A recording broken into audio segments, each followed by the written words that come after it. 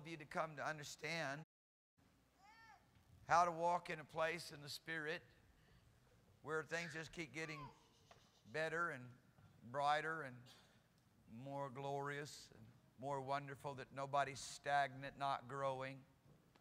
Hallelujah. No one remains sick and diseased. I've seen people sometimes stuck in sickness and disease for many years. And I don't know why, but I've, Uh, you know, why they had to stay sickness and disease for many years, but praise God, many of them broke out of it in the movings of God. I've seen people, as it were, spiritually dwarfed or tormented in their mind for years, but praise God, something happened in the dynamics of their relationship with the Lord, and they began to understand what it meant, meant what it means to live the joy unspeakable life, the abundant life. Hallelujah. Hallelujah. I pray tonight that you'll let the healing waters that has been provided for us through the blood of Jesus Christ flow to you. I pray tonight that you'll let the divine provision of God that has been supplied by the Holy Ghost take hold of your life in such a way that you're not that you're arrested by God and you're not going to live for your self-interest anymore. People don't like the idea that denial of self is continual. People just don't like the idea that God has called us to be and live as a living sacrifice, holy and acceptable unto Him. But once you step into the wisdom of it and the reality of it, suddenly you discover the abundant life of it, and you find the thrill of it, and just realize, well, this is where pleasures are forevermore. Hallelujah. The only problems you got is all the stuff that yourself is producing. You understand me? You just deny that realm, and my goodness, you're going to find a happy realm. Hallelujah. God, oh, Hallelujah.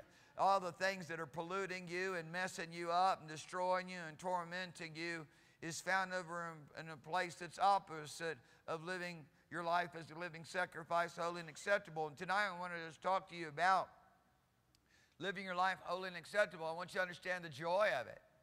The joy of it is this without holiness, you can't interact with God.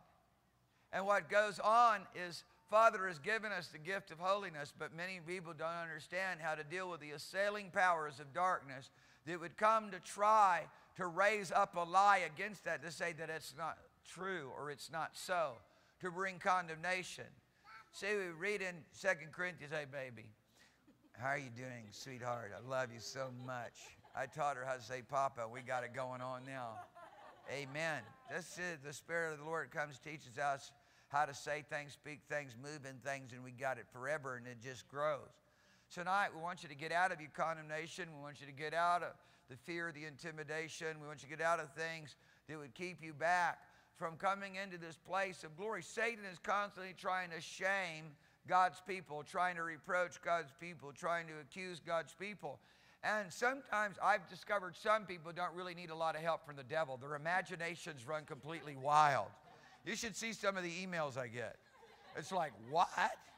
I mean, what wild eyed imagination came up with that? It has nothing to do with any kind of reality. And Satan then takes something like that where a person just sits back and they create all these ideas that don't even exist in reality. Thoughts that never went on, events that never went on, and yet your mind and imagination makes it as real as if you were an eyewitness and saw it and heard it. You know what I'm saying? But Satan takes that to a whole nother realm. And Father wants us to come and learn how to be continually filled with the supply of the Holy Ghost. Hallelujah. And people, that is the religious ideology that it's made to be. It is the interaction with God of eternity. It's being filled up with everything that is good. And I'm going to tell you something. When you find this realm, nobody's going to have, you're not going to have to find time in the day for it. It ain't going to be some act of discipline. It's like, I mean, it's better than food you eat the water you drink. It's better than anything. I mean, you go running. I mean, you go running unto Him. You go running to the presence. The reality of it is, people are stuck in the cares of this life, and they got thorns around their neck spiritually choking them. And it's hard to breathe like that. It's hard to even think like that. And now you hear you got thorns and cares of this life around, around your neck, and you're trying to find some time to get filled with the Holy Ghost. My goodness, break that chain off of you in Jesus' name. Hey, listen, I'm telling you, listen. I'm talking about life forevermore. I'm talking about abundant life. I'm not talking about some fairy tale concept of God. I'm talking about the fire of God, the presence of God, the glory of God, the pleasures that are at his right hand. Hallelujah. The fullness of joy that is in his presence. Hallelujah. Hallelujah. and we want everybody to come to know this because then all of a sudden all this discipline stuff is going to go completely, it's going to be irrelevant. I mean, it's not even, it, I mean, you don't have to be disciplined to eat really good food. You know what I'm saying? If you're really tired, you don't have to be disciplined. Lay down, go sleep now. You know what I'm saying? Come on, people. Huh? You know, listen. Tonight we want you to come to understand how beautiful it is to live in a, in a, in a consciousness that has no sense of sin. We want you to come to realize that right now in 2 Corinthians chapter 3, Paul discloses to us that what God is ministering is righteousness. We in the ministry of righteousness. And the Old Testament, under the Old Covenant, it was the ministry of death. That's not, you can't really have too good of a time there, you know. Uh, but they were able to because people stepped into the life and the relationship. Through the, even through the ministry of the law, people stepped into, into relationship. There were certain ones who had anointing. Don't tell me Enoch didn't have a relationship with God. Are you listening to me? Of course, that's free law. Don't tell me Moses didn't have a relationship with God because Daniel, Job, come on, man, you know. And here, here are some of you sitting around and you're overwhelmed by imaginations. You're overwhelmed by the propaganda and the lies of Satan. You're overwhelmed by the atmosphere of fear and insecurity, intimidation. See, God's not giving us a spirit of bondage to fear. Intimidation, insecurity, all of it is a spirit of bondage. And so many, so many of God's people haven't had enough discerning of, uh, of, of what's going on around them, enough insight, enough divine wisdom to recognize wait a minute. I'm listening and coming under the authority and, and under the influence of a spirit of bondage. It's creating fear. I need to start talking about sonship. I need to get up here in sonship, start rejoicing in sonship. Hallelujah. I didn't go to buy Halasete Ramonste. Hadade Apukanai. Hallelujah. The Abba Father, the Papa God. Hallelujah. Praising Him and giving thanks for all that He said. He's declared to us His Word. And Father wants His Word to dwell in our hearts richly. He wants there to be a rich and abundant supply of the Word of Christ. Hallelujah. Yo rimon jekaya don debera shikon. The Holy Ghost and being filled with the Spirit, hallelujah, produces within me the word of Christ Jesus. And it is taught to me by the word of God. It is taught to me by the things. It's the gospel of the Lord Jesus Christ. Hallelujah. And there, it is connected with, and no one can figure out which one comes first because I think it's just supposed to be that way. Both are connected with psalms and hymns and spiritual songs, singing, making melody in your heart, giving praise and thanksgiving unto God.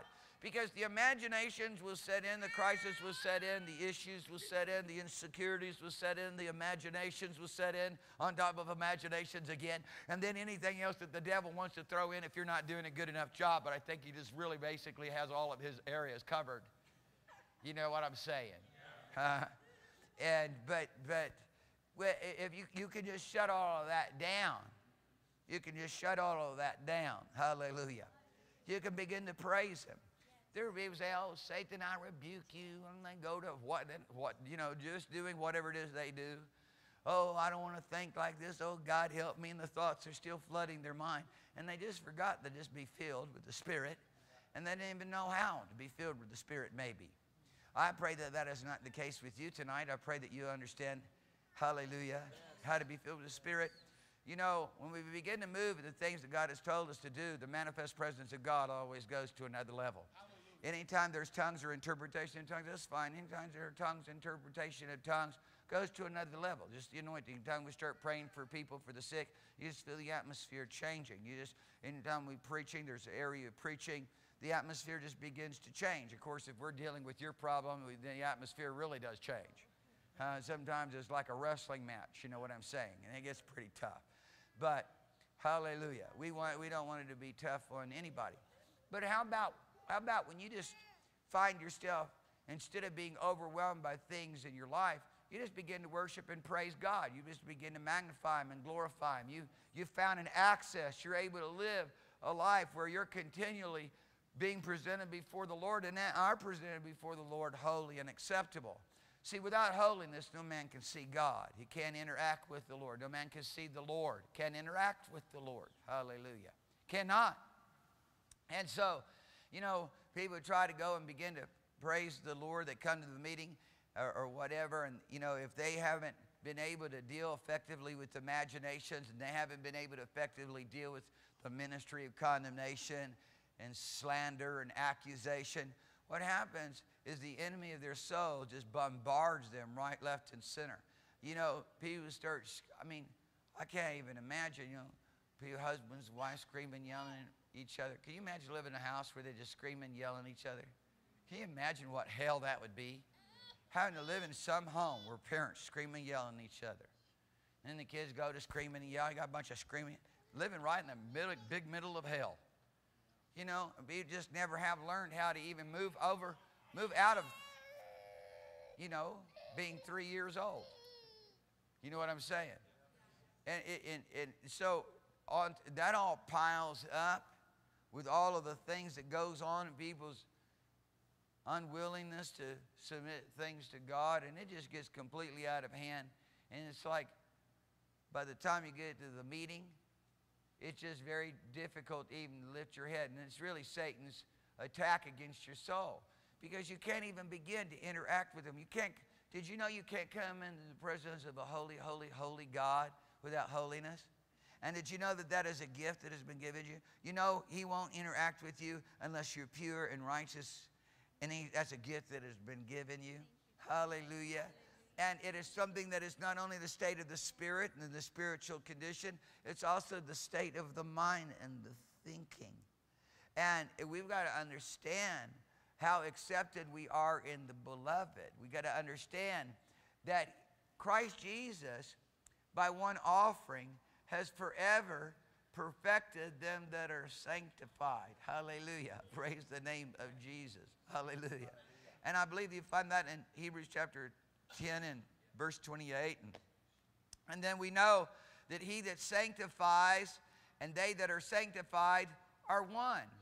And see, you know, God has brought us into a place of oneness, and all that is going on continually are these attitudes and these imaginations and these accusations that's trying to make us other than Him. Not one with Him, but different than Him.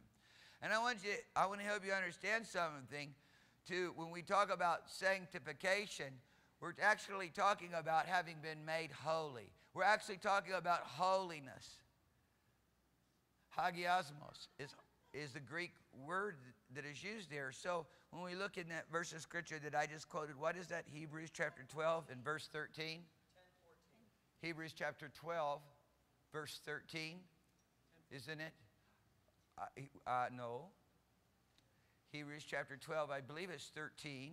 Without holiness, follow peace with all men and holiness, for without holiness, you cannot see the Lord. You see, is that verse 13? That's verse 14. You, can you see that verse 14 there? I know you guys are trying to correct me on Hebrews 10, 28 is 10, 14. I understand that. But right now, let's just go to Hebrews 12, 14, because that's the one I previously quoted. And I know it sometimes becomes a generalized statement when I say what verse I just previously quoted, so I can understand the place of confusion. But I want you to look at these verses of Scripture. Holiness, that hagiasmos, that is holiness, that holiness is sanctification, the same word we use to translate sanctification. Well, when we see in, in, in, uh, in Hebrews chapter 2. What is it? Hebrews chapter 2. Is it verse 13? Come on now, all you scholars and all you people keeping me straight on the verse of Scripture. Don't get distracted with the babies and whatever. Come on now, let's go. Now let's get on with the program over here now. It is a Hebrew. I don't hear anybody turning in their pages. Uh, listen, don't you.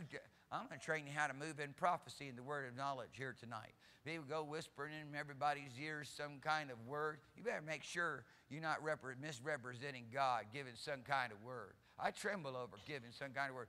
I saw somebody the other day whispering in someone's ear, and the Lord said, That's not of me. You better be careful. You're going to just learn the word God. So be if you, you get all zealous for spiritual gifts, we want you to find, we want you to be spiritual, zealous for spiritual gifts, but we want you to understand how to flow in and by the Holy Ghost, not out of a human realm.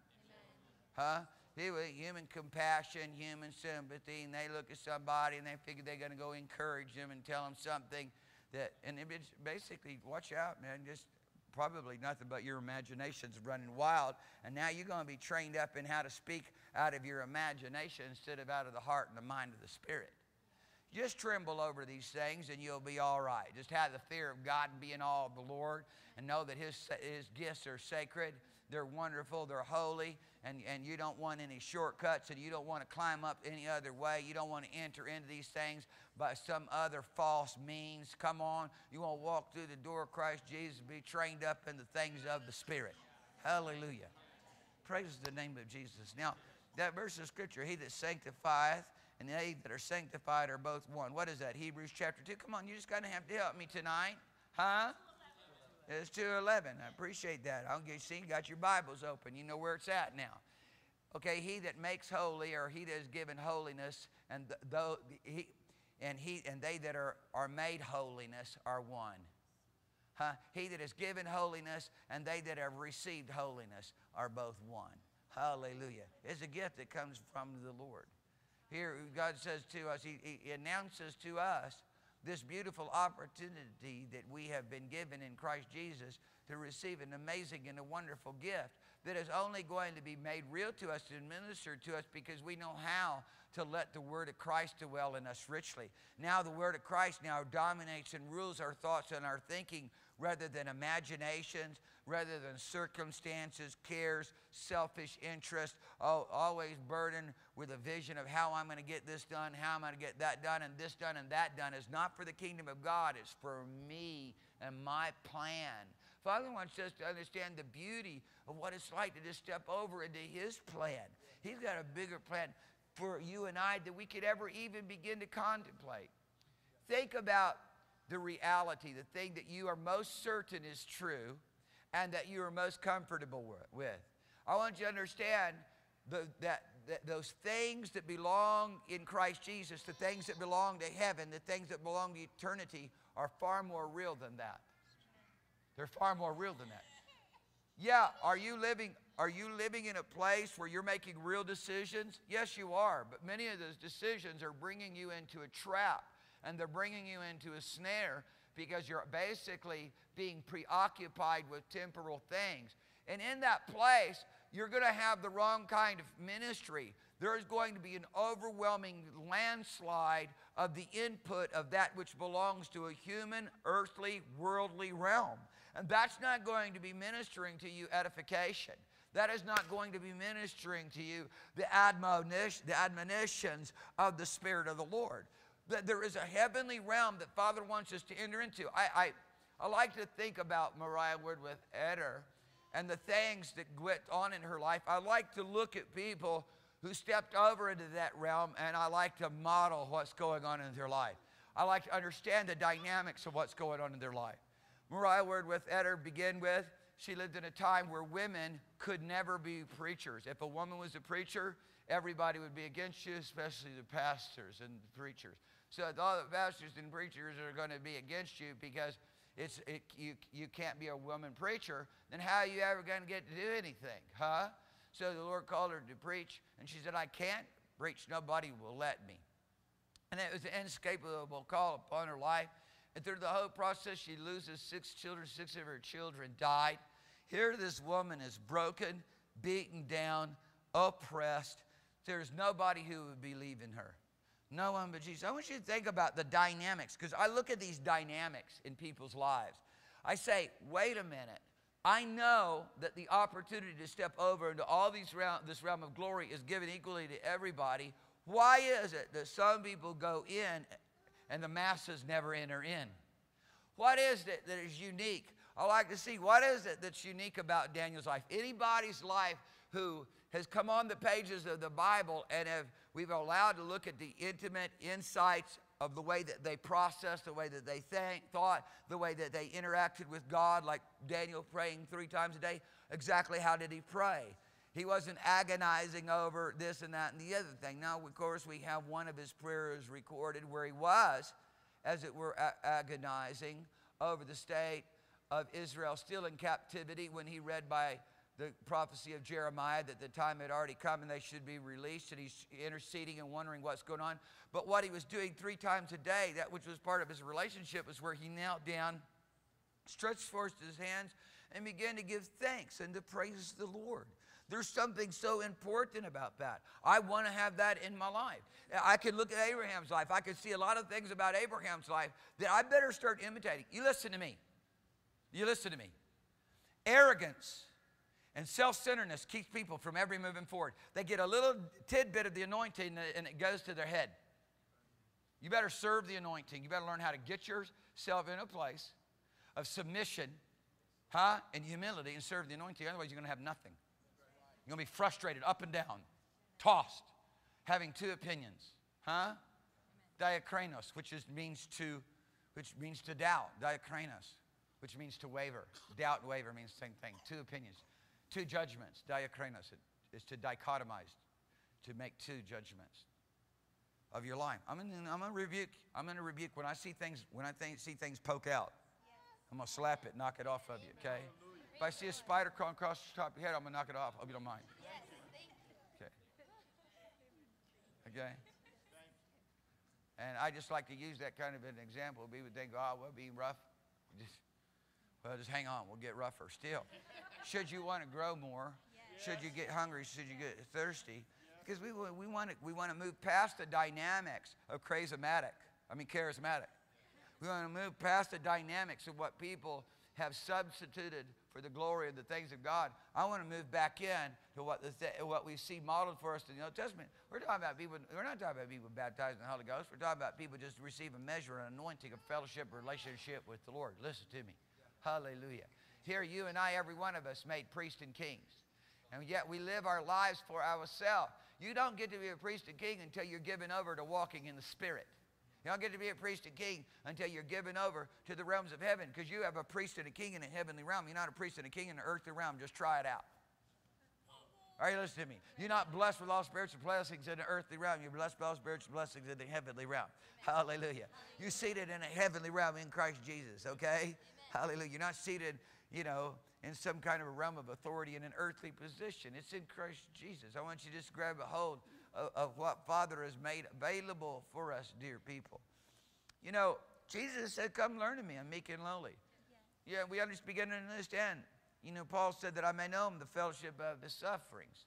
Jesus understood what it meant to want to see a move of God take place in people's lives and nobody got it. That was a suffering to declare the word of God, people don't respond. Have an open door of an opportunity to step into all the provision and blessings of God, and people sit there rebellious and stubborn. The sufferings of Christ, to be rejected, to be not be heard, to not be valued, to, to, to have to be speaking right out of heaven, nobody even understand, think and say that you're speaking by the, by the power of a devil. Huh? To know him in the fellowship of his sufferings. Here's Paul. That I may know Jesus in the fellowship of his sufferings be made conformable unto his death, being conformed to his death, so that if by any means possible I might attain to the resurrection, I might obtain. You know, you know, but Paul was running a race. He was pursuing a prize, a glorious prize, the privilege of being raised up together with Christ Jesus in the resurrection in the resurrection from the dead. He was raised up with Christ Jesus. He wasn't that he had any doubt about his salvation.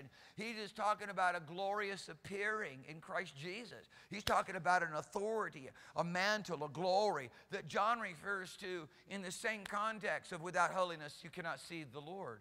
First John chapter 3, the Lord, the, the, in First John chapter 3, John introduces this beautiful thing that says that we, we know that when we see him, we shall see him as he is, for we shall be like him. Everyone who has this hope purifies himself even as he's pure.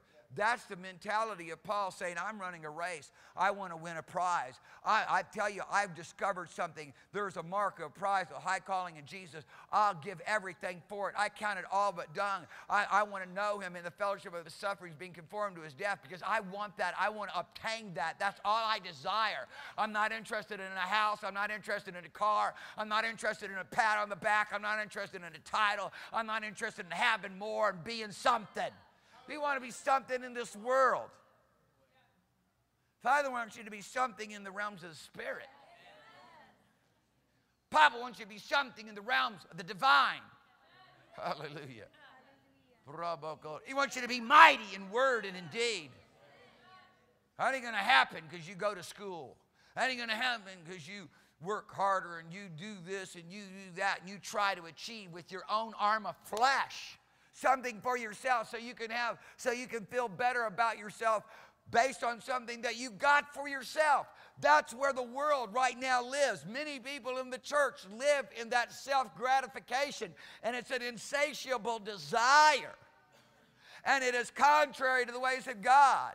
It's living by the seen instead of the unseen. It's walking by sight, not by faith. It's depending upon the arm of flesh and not trusting in the Lord. We want to turn you around. We want you to understand how to be filled with the Spirit. We want you to understand how to let the Word of Christ dwell in you richly. Hallelujah.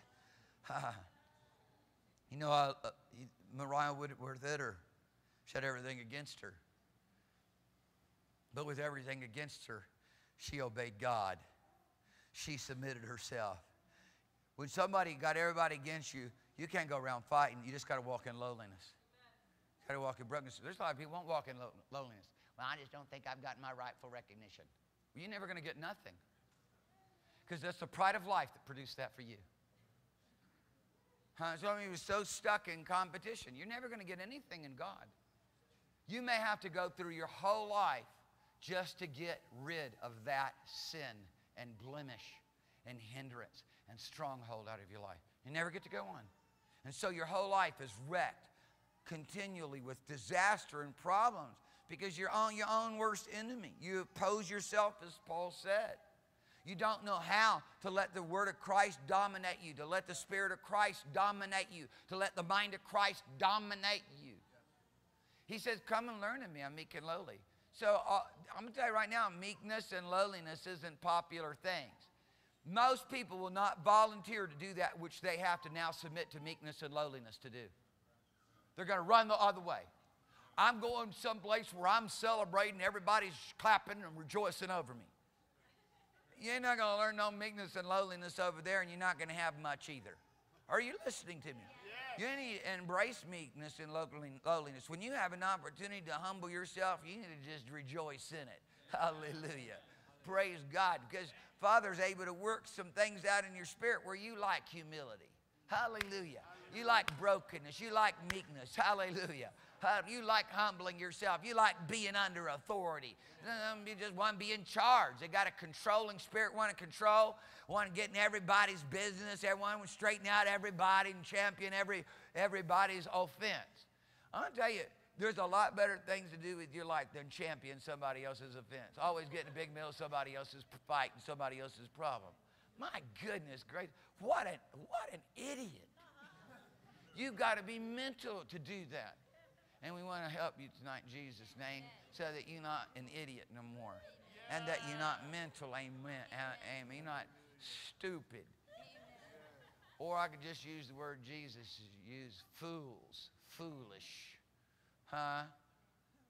Bandodasea, pa Just say, I don't want to be an idiot anymore. I don't want to be an idiot anymore. I don't want to be stupid no more. I don't want to be stupid no more. And you know, that's some, you know, look, it just, Some people, some people might just say, well, I'm stupid, I can't do anything about it. Listen, yeah, you can. Yeah, I, am not very smart and I can't do anything about it. Yes, you can. Father wants to fill you with wisdom and understanding and knowledge. Hallelujah. But yeah, you're going to have to get up in your face and tell yourself to shut up because you don't know what you're talking about. You just have to do that. I mean, I'm a partaker of this fruit. I learned you just uh, to tell myself, you be quiet, you shut up, you don't know what you're talking about. And then in doing so, I now allow the Holy Ghost to speak the word of Christ through me. I get to now learn how to speak by the Spirit. Hallelujah. I can be spitting my opinion, and that's all I'm going to have. I can be declaring those things out of my mind, what I know, what I analyze, what I figured out. That's what I'm going to end up with. You know, I look at people, and I, you know, I can look back and over many years and I can see them in a company of people and they are right where they were back 30 years ago. The company of people that they were in, all of them have moved on with God and they still sitting back there in that same mess. And you would think that they would say, wait a minute, what makes the difference between me and all the company of people I hung out with 30 years ago? And they could look and say, wait a minute, they're not arguing with themselves. They're not constantly making a fight and making a fuss and creating strife and having a problem and being upset. Huh? And being nitpicky about everything and complaining about everything. But me, I'm doing that all the time. I wonder if that's the problem. I wonder if that's what makes the difference between all those guys who moved on with God and me. They all blessed. They all become mighty in word and mighty in deed. And here I am sitting here doing the same thing, just I'm just uglier. I'm uglier and older. Some people don't come to the reality. They just don't. And I mean, I, honestly, I tell you, I wrestled with this. I said, Father, is there anything I can say to just tell them, to tell them that the devil's not doing it? They've done it all. They've stopped themselves. It hasn't been a demon spirit. It's because they've not been willing to hearken unto your word. They've not been willing to go to the place of wisdom. They've not been able and willing to go to the place of understanding. They've always, at the crossroads, chosen their own selfish interest and even chosen sin and iniquity when instead of choosing the fear of the Lord that would cause them to depart from evil and at that moment step into the vein of wisdom. Hallelujah. Step into the vein of understanding. Step into the riches. I mean, the mother lode. I mean, big old chunks of wisdom, man. Huh? Big old huge chunks of understanding and knowledge in the Lord. Huh? You got to go bring in big heavy equipment to move it into the house. Kind of thing. Hallelujah. Hallelujah. Hallelujah. There's only one place you can discover these things. It's in the relationship the Father has provided for us in Christ Jesus. That Christ Jesus is multiplied abundantly to all of us and ministered to us an entrance into his glory by the Holy Ghost. See, I have access by the Holy Spirit, but I'm still going into the Holies of Holies. And if my mind is, my conscience is defiled, I can't go in. You hear me now? Yes. I understand me. If my mind and my conscience is defiled, I can't go in. Because you still got to go in. It's still, you, it's, he's a holy God. Seraphim still cover their face. Huh? Without holiness, you can't see God. The pure in heart, they see God. People who follow peace. You want life? You want God's blessing? Pursue peace. Quit talking bad about people. The community of the saints, where there is no strife, no division. Listen to me. It's over and over and over again. Blessed are the peacemakers. These are the sons of God. Find me a peacemaker and I'll show you a son of God. Find me a troublemaker and I'll show you a son of the devil.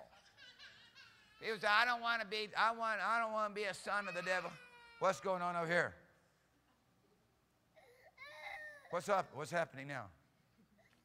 Father, I ask you right now. Anna's been laying hands on Naomi every day, praying for more anointing, praying that she'd start flowing in the Holy Ghost. Because we've been seeing some other manifestations. Amen. But that's okay. How old is Naomi now? She's 14 months. That's fine. She's 14 months. She's just getting all these emotions put together. She's just getting all these things and all these interests put together. She's defining her place. Did you know there's a lot of people, they don't know their place? So they don't ask permission for nothing. They think they have a right to everything. There's no honor there. They dishonor everything they touch. They never know their place. Do you know your place? That's pretty radical.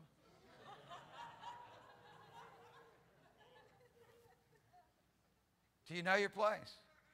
When you know your place, people, I'm going to tell you, listen, things become much different for you. You know, you know, you, you begin to take on the, the nature and the character and the virtue of the living God.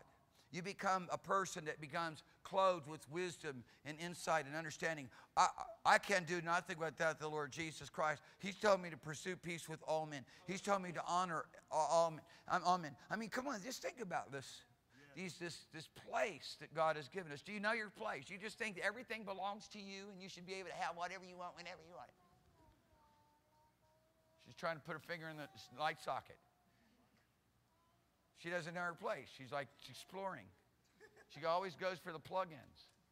Do you hear, do you hear what I'm telling you? Not knowing your place causes you to pursue things you have no right to. causes you to expect things that you should have them right now, and you have no right to them. You, not knowing your place keeps you from ever being able to walk in humility and brokenness and lowliness and submission. You understand me? Yes. You never ask permission for nothing, it all belongs to you. Huh? Think about it. You just trample over other people. You'll trample over, uh, uh, over the, the limitations and the boundaries that are set there for your own protection so that in that place you can develop Uh, properly so that you can begin to inherit the blessings that not only God would have for you, but just let's just, if I broke it down and started applying it just in the realms of men, huh? Walk in the CEO's office and tell him where he's messing up. Tomorrow, and when you get to work, just walk in the CEO's office, tell him you've been looking over the company and you understand exactly what his problem is. And if you look, and you're going to find out you are now dismissed. Somehow you never knew your place. You can have all the wild eyed uh, ideas and imaginations about yourself. The fact of it is, he's the CEO, he's built a business, and you haven't. So get back to your little corner and they'll grow and develop and mature and submit and learn and quit complaining and seeing all the problems and you might just prosper. You might just develop. You might just mature in wisdom and knowledge and insight and get someplace someday instead of being left behind when everybody else gets to move on. Listen to me. Because i'm not just talking about things in the natural i'm talking about things in the spiritual. And i wish and pray above all things that you prosper and be in health even as you so prosperous. Hallelujah. I'm talking about so prosperity. I'm talking about you learning how to, that you can't just go out and just trample over whatever you want to do because you anointed too. Hold up. Oh, I'm a priest and king too. I've been baptized in the Holy Ghost too. Hold up. You don't know your place. You need to understand the dynamics of submitting yourself first and foremost to God. And when you do, you'll submit yourself one to another. In that place, you're going to be pursuing peace. Hallelujah. And submitting yourself to one another. You submit yourself to the authorities that are in your life. And in that place, you're going to find yourself submitted to the Holy Ghost in such a way that you're not wanting to be seen. You're not wanting to be self promoted. You're very happy with just letting Christ Jesus be the only one that is revealed. You're happy with being the person who's in the background praying for a glorious outpouring of the Holy Ghost. You don't have to be the big mouth in the meeting. Hello. To feel good about yourself. Are you listening to me? Hallelujah. Praise God. Huh? And you know, listen, there are people who they've developed. You've been you, there's a fire, Holy Ghost is on you, and there's something to speak. And when you speak, it, it, it, it doesn't. The meeting doesn't take a nosedive; it goes up. Well, you know what? You know what we do is we honor that. The people they begin to speak and the thing takes a nosedive, nosedive we say, you know what? You need is need to spend a little time with the Lord Jesus. Hope that doesn't offend you. If it does, it's good for you. Why? You get to practice what? Humility. Amen. Praise God. That's what Jesus said He wants you to learn. Amen. Ah, I don't want to be corrected and told what to do because you don't want to practice humility. You want to practice pride and arrogance. You want to practice self determination. There is no self determination in the kingdom of God. Father has given to us a gift. He has determined for us something far better than we could have ever thought or asked. Hallelujah. He's given us the gift. Yeah. Hallelujah. Hallelujah. Hallelujah. Am I doing good? Yes. Are you happy? Yes. Hallelujah. Jesus says, Come and learn of me. Yes. He says, Take my yoke upon you. Take my servitude. Servitude? And literally, he's saying, Take my slavery upon you. Slavery? He says, I'm meek and I'm lowly. He said, Come into this meekness and this lowliness. Come into this place and I really love the translation, the word uh, for uh, humility being translated lowliness because it's very descriptive. Do you enjoy walking in lowliness? Do you enjoy being seriously less than everyone else? Very good. That's fine that you didn't say amen, praise God, hallelujah, thank you, Jesus. that would be a good time to be silent when I'm talking about what God has done for you already and the free gift, you can go ahead and rejoice. That's a good place because I'm telling you right now, this is something to get used to. This is another disposition. This is another dimension of the Spirit to be less than everyone else. So Paul said, esteem everybody better than yourself. You can't do that. Not when you walking around being the best. Help us, Lord Jesus. Are you with me? You understand? Yeah, you know where I'm driving at. Yes. This is the thing. This is our challenge as people. It's not some aloof, obscure devil fighting us that we can't get her. We need to fast and pray because it's some kind, you know, of secret sin. Some kind of mysterious curse that's been cast upon us by somebody. We don't know who it was, but it was Adam. It was Adam. Uh-huh. And the curse, yeah, there's a curse. There's a curse that says, I said, I've been cursed. I understand that. I have, I was too. Every man has been. Because of sin and in the world cursed us. But Jesus came, made a curse for us to deliver us from the curse so that we could be blessed. Amen. Hallelujah. And now we just got to understand what are the spiritual principles and what are the spiritual laws of life. And then understand how to engage in them and how to embrace them, not be all upset when God's giving you an opportunity to be broken. God's giving you an opportunity to quit feeling so high on yourself. Huh? Come on, man. You want to get into the realms of the anointing. You want to get into the realms of something that is glorious and, and, and, beautiful and the splendor of Almighty God. Come into this place of lowliness and come into this place of meekness that is what most people run from. As soon as God gave you the opportunity, you ran from it, said, I want nothing to do with it. You didn't say it with your words, but you said it with the disposition of your heart and what you've been, what you've been allowing to develop in your spirit. And then the worst part of it is to be self-justified. Now I want you, I want to I want to just talk a little bit.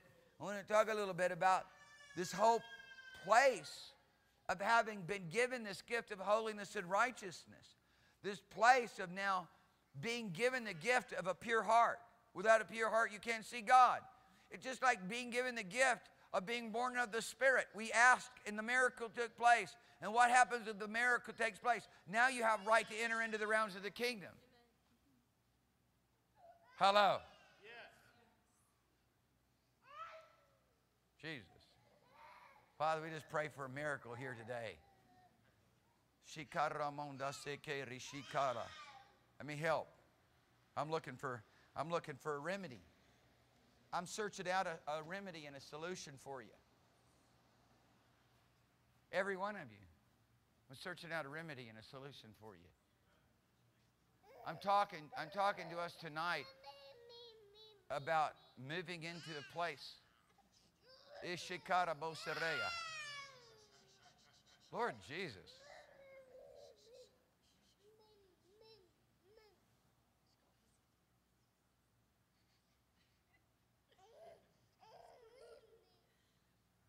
You might have to take the back row.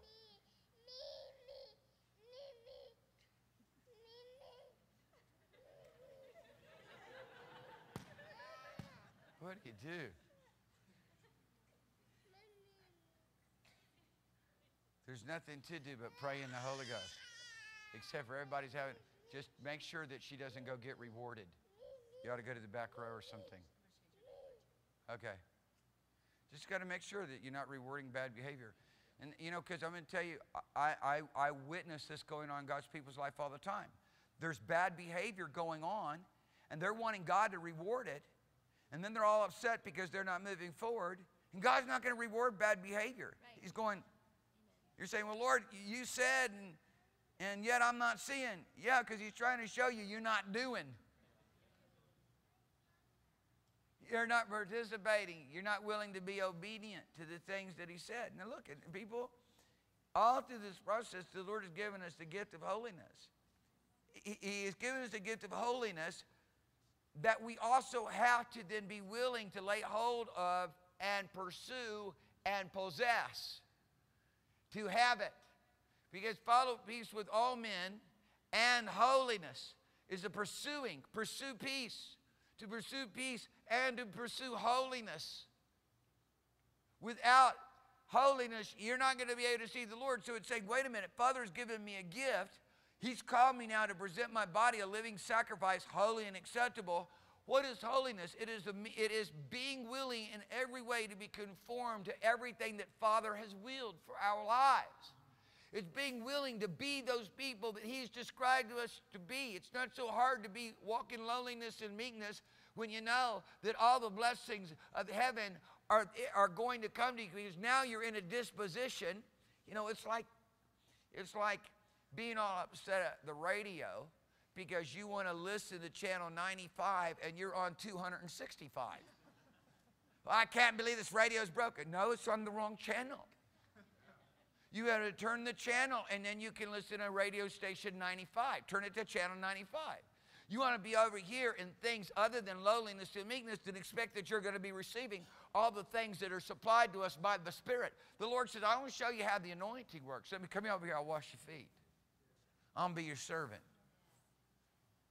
No, you're not washing my feet because I mean, cause I want to be great, so you got to be great too.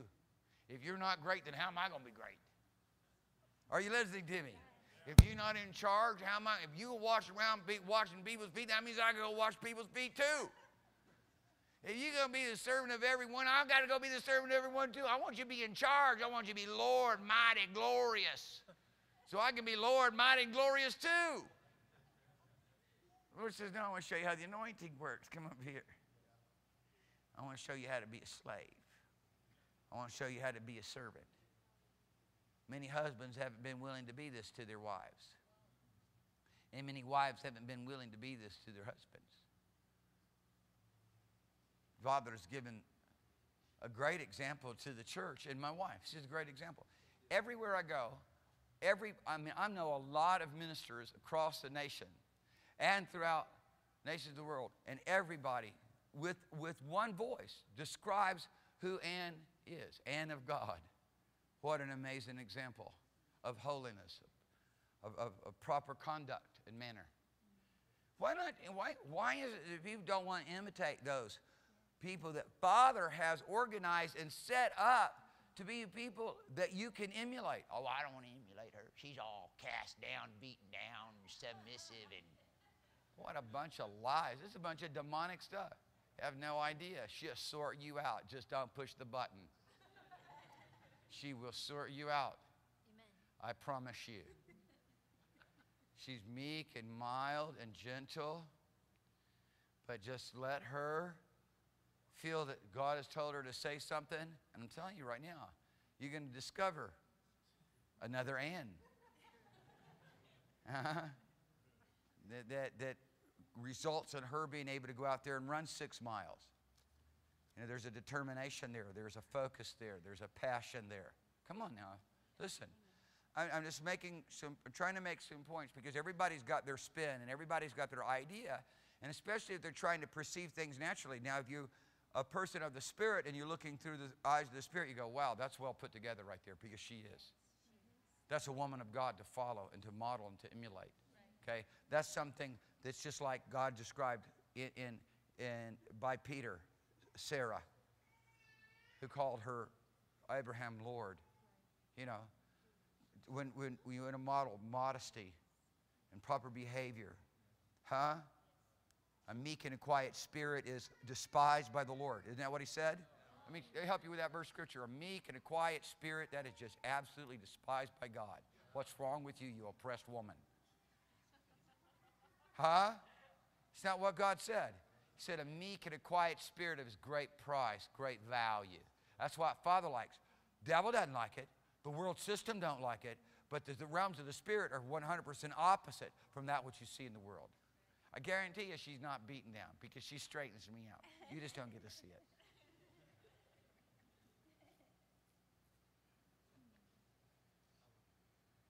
If I'm doing something wrong, I'm going to get you, believe you me. I, I will hear the instruction of the wise, the counsel of the prudent. Amen. Amen. Lowliness and meekness to people. Giving ourselves over to a place of serving one another in this love of Christ. Beginning right at the house. Because it's got to be there at the house first. Husbands with wife, wives with husband children with parents. Hallelujah. Mande brutatas de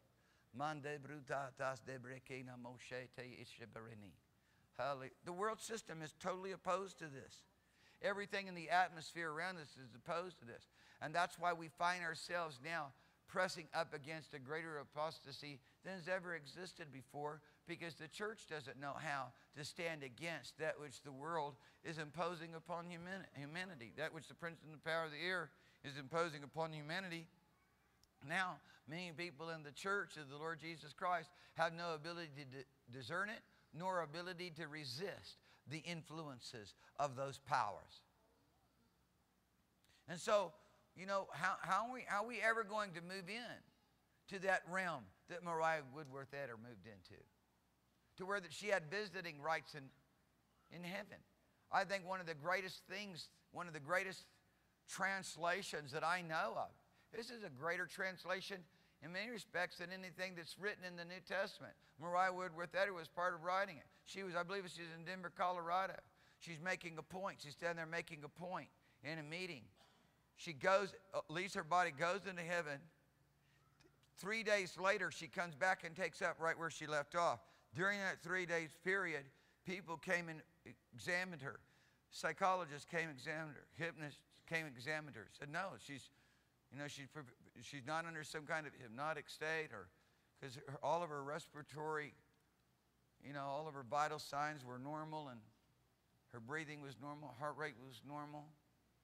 She's just off in glory land to grab a hold of a baby who's blind and deaf and crippled mentally and physically and paralyzed. Just grab a the baby, just hug the baby, the anointing and the presence of Jesus all over. Immediately, the baby's completely and totally healed. You're not going to have that unless you're willing to go through brokenness, unless you're willing to go through the humbling process, unless you're willing to embrace these things that would oppose you, unless you're willing to fellowship in his sufferings and be made conform, being conformed unto his death, to lay down your life for everyone else, rather than have everybody lay down their life for you.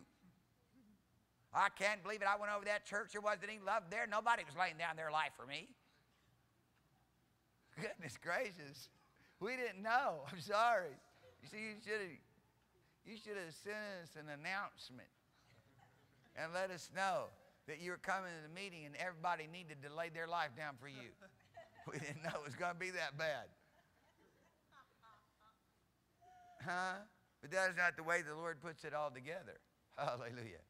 In fact, if it is, is that would be something that actually needs to be adjusted. Huh? Because Father has got every one of us with the same mentality. Hallelujah of laying down our lives, not having anyone, well, I'm laying down my life for you. Why aren't you laying down your life for me? That isn't the mentality of the Word of God. Jesus never came with that kind of a message. Hallelujah. Uh, this is a big part of why Paul said, I rejoice in all my tribulation. I count it all joy to the trials and the, and, and the things that oppose me that I'm having to go through. the trying of our faith, the evaluation of our lives, the choices that we make. Huh? Under pressure and un, in, in very uncomfortable situations when everybody around you could be, as it were, producing something in an action towards you that you could easily be offended by, and instead it doesn't bother you because you're just there to serve and you're just there to love. Whew, come on.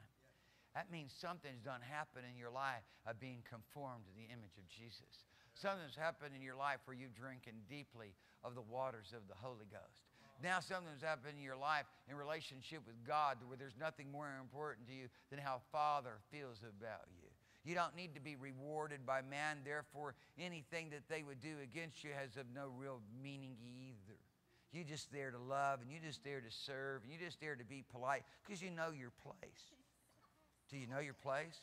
Your place of meekness, your place of lowliness, your place of being conformed to the image of Christ, your place of representing God, your place of recognizing that you can do nothing without Him. Uh, that He's here to lead us and to guide us and to go before us and to rule us and to master us.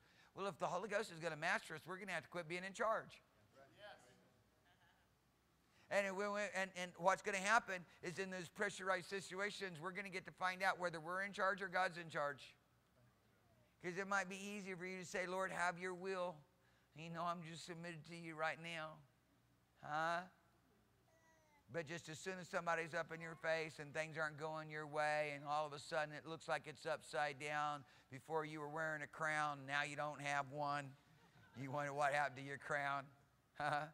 You were king for a day, and now all of a sudden you're the slave for the rest of your life. I want to be back. I want to go back king for a day. Or can you hear me? Yes. Can you hear me? Yes. Can you hear me? Can, you hear the challenges of bringing forth the peaceable fruits of righteousness? Can you hear the challenges of having your fruits unto holiness and the end thereof everlasting life? Huh? Can this become more than a scripture and more than a memory verse and more than a passage in the Bible and all of a sudden the rule by which we live?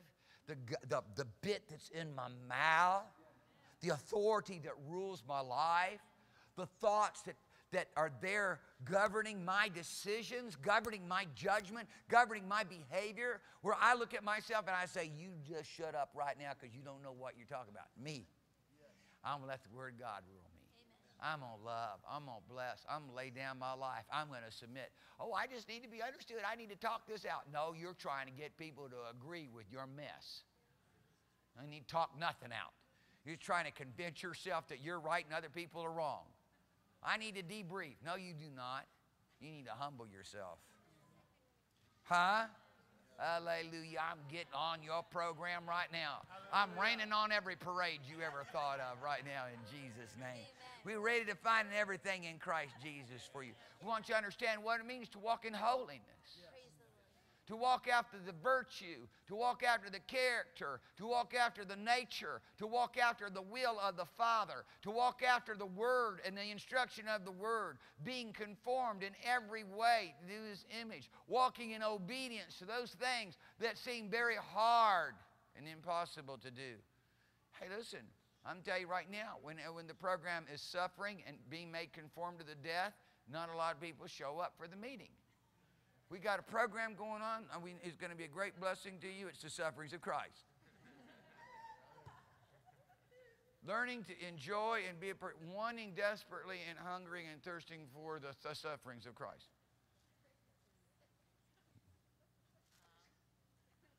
Huh? What? Are we going to have some time of joy in there? Yeah, it's going to all be joy. Hallelujah. We'll count it all joy. Hallelujah.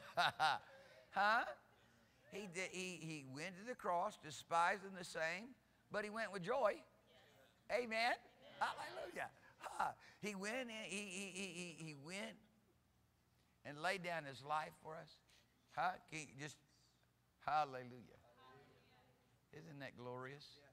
Let's just look at that verse scripture. I was going picking up the Bible to go somewhere else. Just go look at that real quick with me. Hebrews chapter 12 is just chock full of every good thing you can think of. I mean, it is chock full with revelation. It is, but you're going to have to get yourself some wisdom to appreciate any of it. you had to get yourself, in other words, wisdom is God's divine insight. Wisdom is seeing through his eyes and knowing what he knows. Oh my, everything comes, all, all dots are connected then. Everything really comes together and makes sense at that moment. Hallelujah. Hebrews chapter 12. Just look at that verse 1 there. Wherefore, seeing you compassed with so great a cloud of witnesses, they went through all this stuff. They went through all these things and more than you've ever gone through and I've ever gone through, and look how wonderful they did. Hallelujah of whom the world was not worthy, seeing as you've had all these men and women of faith stand up mighty and be mighty in word and deed, and not bend nor bow, but stand faithful to God. You know, the Lord says, let us lay aside every weight. And I'm going to tell you right now, the cares of this life is the worst kind of weight.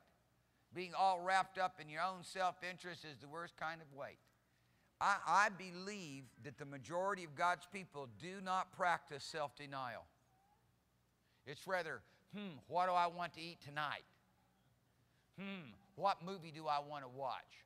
Hmm, what, how, what can I, what new clothes can I get so I can feel better about myself? I want to look better.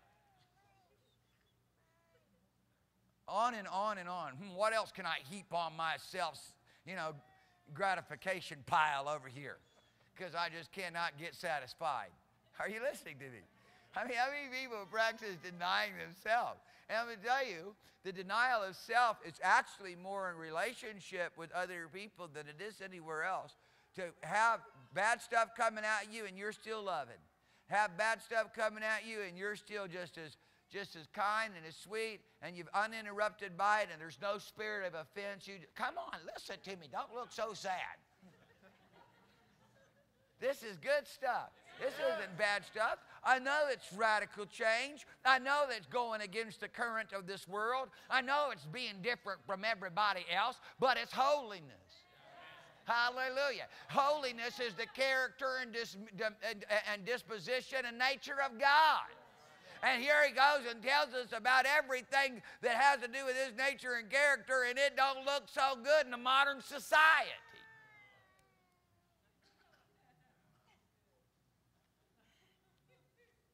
The other day, Daniel instructed me and taught me proper behavior on, in, a, in, a, in a road confrontation. When somebody's doing something crazy, did you notice there's a lot of crazy people out there? Yeah. You know what Daniel does? He smiles and waves. I said, man, that is beautiful. I'm doing that. It's not like, it's like, of course they're going to act that way. That's just the way they are. Why am I going to get upset about it? I was so blessed. I got so ministered to. My whole behavior, my whole behavior is changing. My whole behavior is changing. Being conformed to the nature of Jesus when I'm driving. Amen. Hallelujah.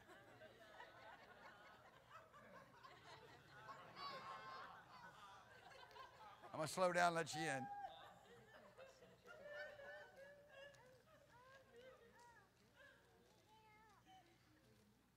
My biggest problem is, you know, I have the most important job of anybody on the planet get out of my way. And I do. I'm a preacher. I'm a minister of the gospel. I'm like should be the I should have, you know, presidential pass. Uh, we're always learning our place. Huh? In every area of our life, because some things will slip by, some things will eclipse us. Every one of us are growing and maturing if we're giving ourselves to the things that Father has commanded. He's ordered. We want them. We're crying out to God, Father, use me more. Father, I want nothing standing in my way, standing between you and me, standing in my way of accessing and receiving all that you have supplied. Whatever it takes, Father, whatever it takes do it. This should be our prayer. You shouldn't be afraid of that. Whatever it takes, Father, do it. Let's get this thing underway. And so we read here, then laying aside the weight and the sin that is easily beset you, and run the race with patience, looking unto Jesus, the author and finisher of our faith, who for the joy that was set before him endured the cross, despising the shame. But look what's happened. Guess what? Guess what? It comes before honor. Everybody wants honor, right? But guess what comes before honor? Can we skip that, please? No. Where is that humility going to come from? The place you will receive it the less, the least. The place that you most do, you most despise it, don't want it. Huh? Father, we're going to get you set up for success. Amen. Amen. Hallelujah. Hallelujah. Holiness. Conformity to his will. And the beauty of, the beauty of it is, he that sanctifieth, or he who is made holy, he who makes holy, and they that are made holy are one. So I find on, see, see the reality of this, of this wonderful gift of God, and this wonderful development in God is all within the context of a willingness to embrace oneness with Him. I'm His and He's mine. I'm in Him and He is, He's in me. It, with all my problems, with all my shortcomings, with all my immaturity, with all my stumblings, with all my failure, with all my bad behavior, with all my human behavior, with all my fit pitching bratitis. It's a terrible disease. He loves me. He's, he's, he's here with me. He's dealing with me. It's like, I mean, I think sometimes the Lord's like, give me a break for a moment. You know, right? Screaming baby. I mean, have you seen yourself as a screaming baby in the presence of the Lord? Huh? Have you? I've seen myself as a screaming baby in the presence of the Lord to help me move forward. Hallelujah. I've been so blessed by the rebukes of the Lord Jesus over the years. It's the rebukes of the Lord. It's the chasing and the instructions of the Lord that causes us to grow and mature and get right. We can harden our heart against reproof. Huh? Person often reproof will harden their heart if they, if, they're, if, they, if they aren't receiving things correctly. Don't harden your heart. Receive the instruction as the instructions of life. Why is it that you need to be self justified? Why is it that you need to make yourself right in your own eyes when all along Father would give you righteousness? If you would just be willing to be wrong, be willing to be corrected, you get to be, you get to, hallelujah. You get to walk around the gift of righteousness and the gift of holiness, the gift of oneness. I want to just say, in many respects, we could say without oneness, you can't see God. Our acceptance is in the beloved, is in Christ Jesus. That's where our holiness comes from. But it, in the context of us being willing to go after these things and have them in our life, no matter what it costs us, this is where this is the dedication of that which we, we give ourselves to. We're going to have it. We want what Father wants for our life. That's why you'd have to make a distinction there. But all the time, there's this gift of holiness at work. And all the time, through the unwilling process all the time where we think that we should be we should have more for ourselves. Why? There's this one there's this one movie that I like to watch. It's about a woman that a woman that they ultimately called Saint Bernadine.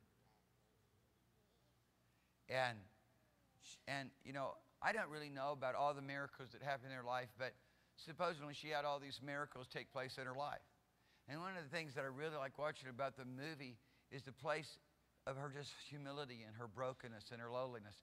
And here she is, she's just being honored by everyone, and she just, she's so special in God, but she doesn't know it.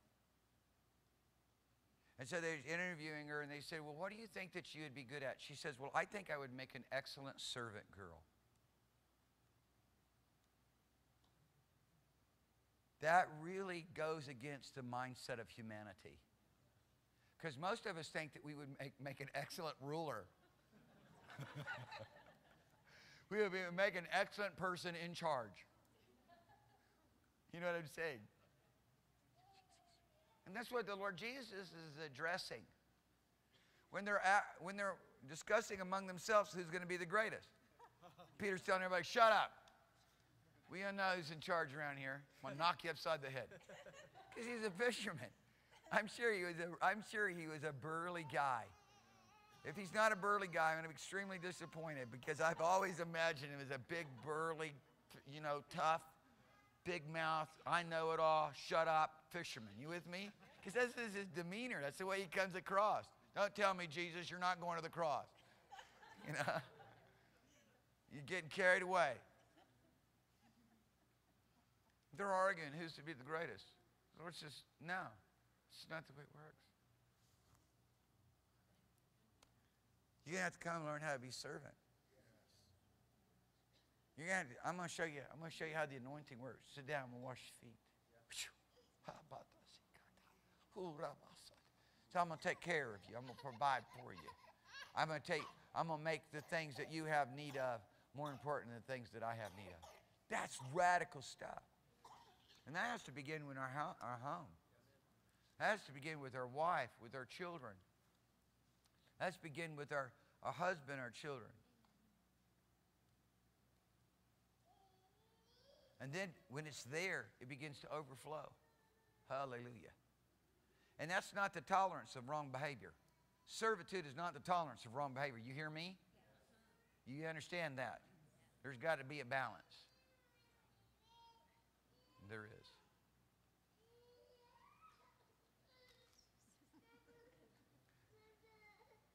Well, I just figure we're going to be going through this. We got two and grandchildren now and expecting a whole lot more. I just appreciate all of your willingness to endure through this process with us. Hallelujah.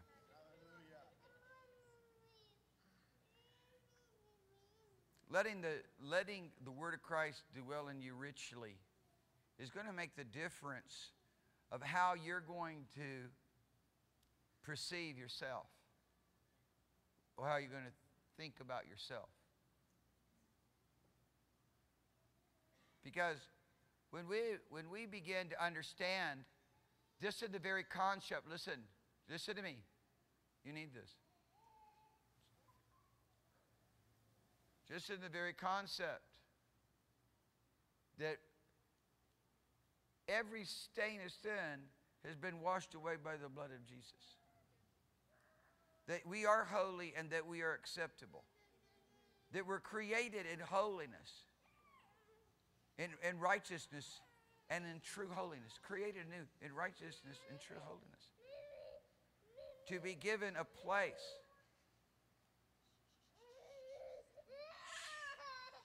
Jesus.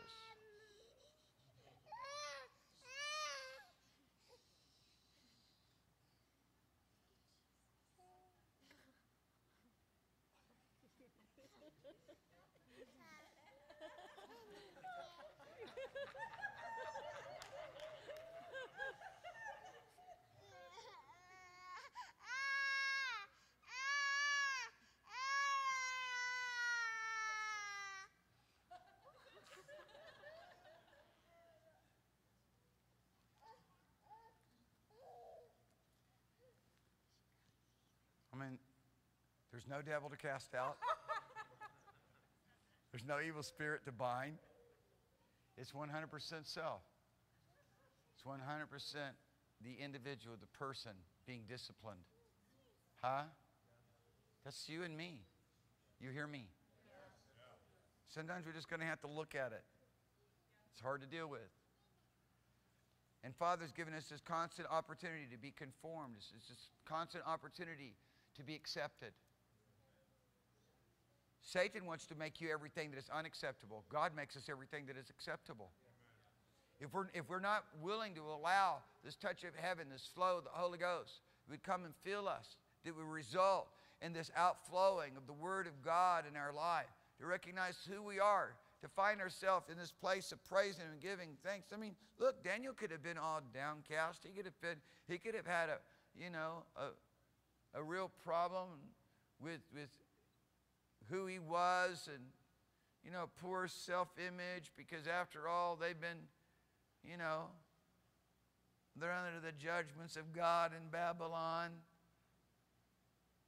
He laid hold of the covenant. He was caught away in the blessings and the goodness of God. He was found a place to be accepted there, to be able to worship Him, to be able to give thanks even in the midst of His captivity, in the midst of the punishment of His people, and the chastisement of the Lord upon them as a nation. Dear people, our acceptance in Christ Jesus that comes from us being able to, revel, to, to, to recognize and have a revelation of who we are in God and the oneness that we have with Him. It, it's people, it's, you got to hear me because we're having a real hard time hearing here tonight. Having a hard time hearing. These things are hard to hear, they're hard to perceive. This beauty, this beauty of this unspeakable gift this beauty of having been created in righteousness and true holiness, this beauty of being one in Him and, and remaining there and understanding that a big part of the warfare is where Satan comes to try to somehow make you other than one with Him. Listen, it's that place when Satan is able to somehow make you in the, on the outs with God, somehow not acceptable, somehow not His first choice or not in that place of oneness and union with Him. It's a void that then Satan can come and fill. If you find yourself filled up continually with His mercy, with His love, with His goodness, with His acceptance, Satan doesn't have a chance. He doesn't have a chance. Because when you begin to, when you be, when what, what the value of your person, the value of yourself, the value of who you are, is you find all your fulfillment in Him, and that that is a river of His love continually flowing to us. And you're always there in the good favor and the good grace and the good mercy of God. Satan doesn't have a chance. He works in the realms of the imagination. He works in the realms of the offense. He works in the realms of the slander. He works in the realms of the guilt. He works in the realms of the condemnation to understand how that the Holy Ghost would supply to us that which only God's Word, the Word of Christ could bring to encourage us so that we, we being there encouraged, are able to admonish one another also. Hallelujah. Oh, Do di nambre dea poco shit sibala dea. Avrebete shikando borashinga dai. Avrebete shia. Delenda panonda de dea shikuna da tana. To find that abo shirene shia. To find the borosha telena minasi. To find the boranga dea poramaya. To find the.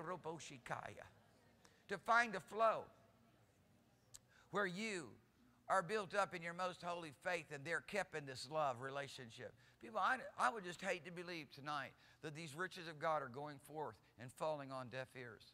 I would just hate to, to believe tonight that these riches of God, this declaration of the Spirit of the Lord that gives to us an understanding and a revelation of how to step into being able to receive that which He's supplying, will not be activated in people's lives, but they'll live tomorrow and go and wake up tomorrow and be and do the same thing that they've done yesterday.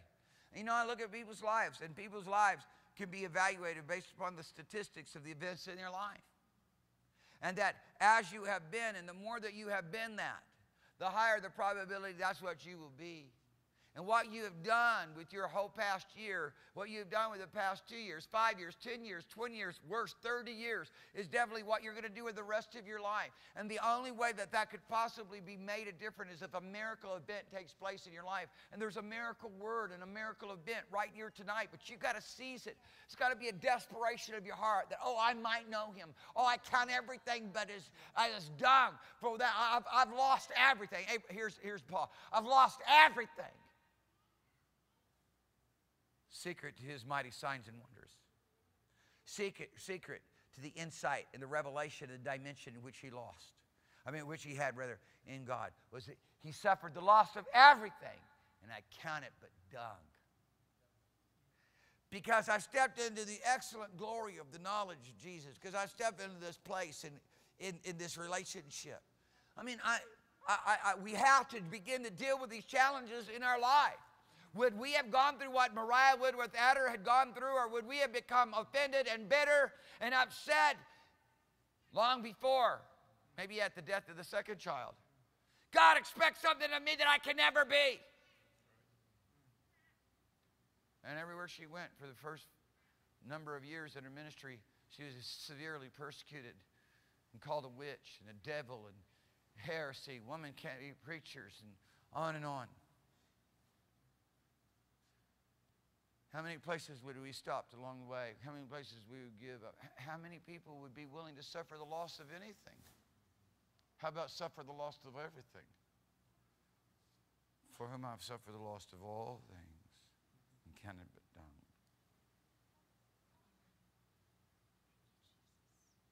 A fellowship with Jesus, a oneness with Him. It's wonderful to embrace the free gift of righteousness and the free gift of holiness. To live under the ministry of righteousness, where there is now, therefore, no condemnation in Christ Jesus. Total acceptance in the beloved. That's the opposite of condemnation, total acceptance. Come on in. That's my child. That's my son. That's my daughter. And then to ultimately allow God to develop in our lives where we want to, where uh, that love that He pours in our heart begins to be expressed through our lives to where we want to know Him. He's done all those things. He's done all these wonderful things for us, and we're just living like kids in the house, you know, just, you know, free ride, you know, kind of thing. everything's provided, everything's taken care of. You know what I'm saying? Eh? just being kids in the house.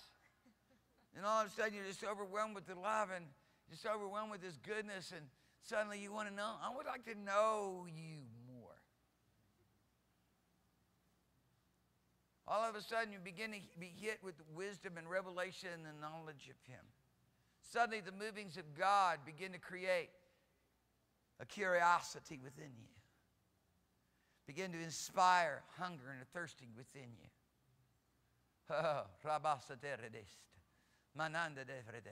And there is a tension there. That's where the tension begins. Where all of a sudden you want to know Him. You want to know me more. You want to walk with me. You want to fellowship with me. You want to be used by me more. There's some things that you're going to have to be willing to allow to be adjusted in your life.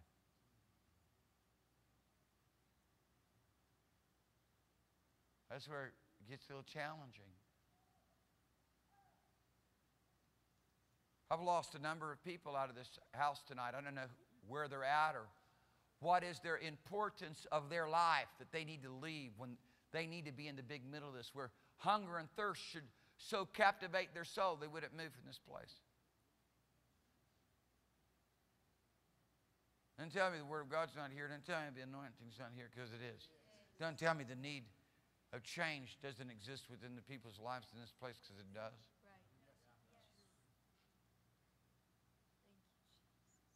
There's a, there has to come within our life a desperation to be like Him, to know Him. I just want to be like Him. He's given me the gift of righteousness and holiness. He's made me one with Him. Now I want to be conformed to His image. Now I want to pursue that which is of His character and that which is of His nature. That which is of His disposition, that which is of His choosing, that which is of His ways. That's all that defines holiness. All that defines sanctification, being set apart in Him to be taught of God, that that's something beautiful, that that is a glorious opportunity. That's the best opportunity that we could have ever, ever had, that we could have ever imagined. We could have never earn such an opportunity to, to be students in the most prestigious school in university. The school of the Spirit. Yeah. The learning center of God. Taught of God. Taught of the Lord.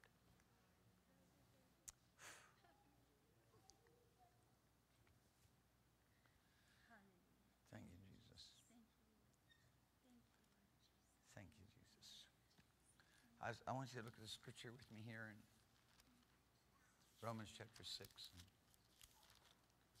I just want to start at verse 16. Holiness is a gift. I want you to understand that. God created us in his image and his likeness. After his own image created he them or us emphasizing emphasizing who he is and what he is and emphasizing what he made us to be like him. You know, many people have a perverted concept of God. They have a philosophical ideology of God that reading Genesis chapter 18 would totally change. Where Abraham sees Jehovah, and I know your translation says the Lord, but in the Hebrew language, it's, and Abraham saw Yahweh, which is the name of the Father in the Old Testament. Saw Yahweh coming to him with two others. And we watch as a play goes on between Yahweh and them all being one and also being separate. Especially stands out in the Hebrew language as being one and then individual. He and then they. One speaking, then all three are speaking. One's acting, then all three are reacting or acting. It's beautiful. And he says, Let me come here, comfort yourself, sit down here under the shade, and let me get some water to wash your feet. See, that's a different concept of God than what most people have in philosophical Christianity. And let me get some bread. Sarah, take three measures of meal, make some bread. Goes to the servant, kill a fatted cat quickly and brings meat. And of course, he said, Let me get some food for you. And they said, Do what is in your heart to do. Oh. And they bring a feast, and after they sat down and they ate. Come on. This is Jehovah, Almighty God. And that's just one chapter to change people's whole disposition God. He's not unlike us. We want to make him unlike us. He is, he's made us like him. And then when we read in Ephesians chapter 4 and verse 24 here, and we discover here in Ephesians chapter 4 and in verse 24, we discover the gift, the miracle, what happened when we were born again, when we were made a new creation. And he says, and we've been created a new man. We put on a new man. We've been clothed with a new man. And that's something that's a reality of what's happened, and it's something that we consciously then participate with on a daily basis. It's something that we put on. It's something that we're endued with. It's something that we're given as an equation, but it's something that we're endued with. It's something that it's a mentality. It's a place of letting the word of Christ dwell in you richly because it's a place of being filled with the Spirit. It's a place of relationship. It's a place of interaction. It's a place of heaven. It's a place of glory. It's a place of divine, of all those things that belong to the Father, no longer living confined to an earthly realm, a prison, a condemnation, a place of self interest and self pursuit. People, you're going to have to come out. You had to come out. It cost you too much. Well, just have a stomach ache for a while and pay the dues. You hear what I'm saying to you? You start thinking about suffering the loss of, every, uh, loss of all things, and their whole life gets turned upside down. There's not a lot of people that would so follow Jesus. Thus, there's not a lot of men and women mighty in word and deed in the earth today. There's not a lot of people that can fully represent Him. They're living under the mercy and the grace. But they're not willing to embrace the relationship that's going to make the difference of where millions, multiplied millions, are going to spend eternity. Such love, such compassion has not moved us yet. Such love, such compassion has not touched us deep within ourselves yet because too much of our lives are spent around our own interest. Thus, the word of Christ is not able to, to be the inspiration that it's supposed to be, dwelling us richly, producing out of us a result, an outworking, an expression of ad- admonishing one another in the things of God, the things of heaven, of who we are in God, and the authority that's been given us as we've been baptized in the Holy Ghost and fire and filled with the glory and all the dimensions that Christ Jesus himself possesses when he's given to us all that he has. Hallelujah.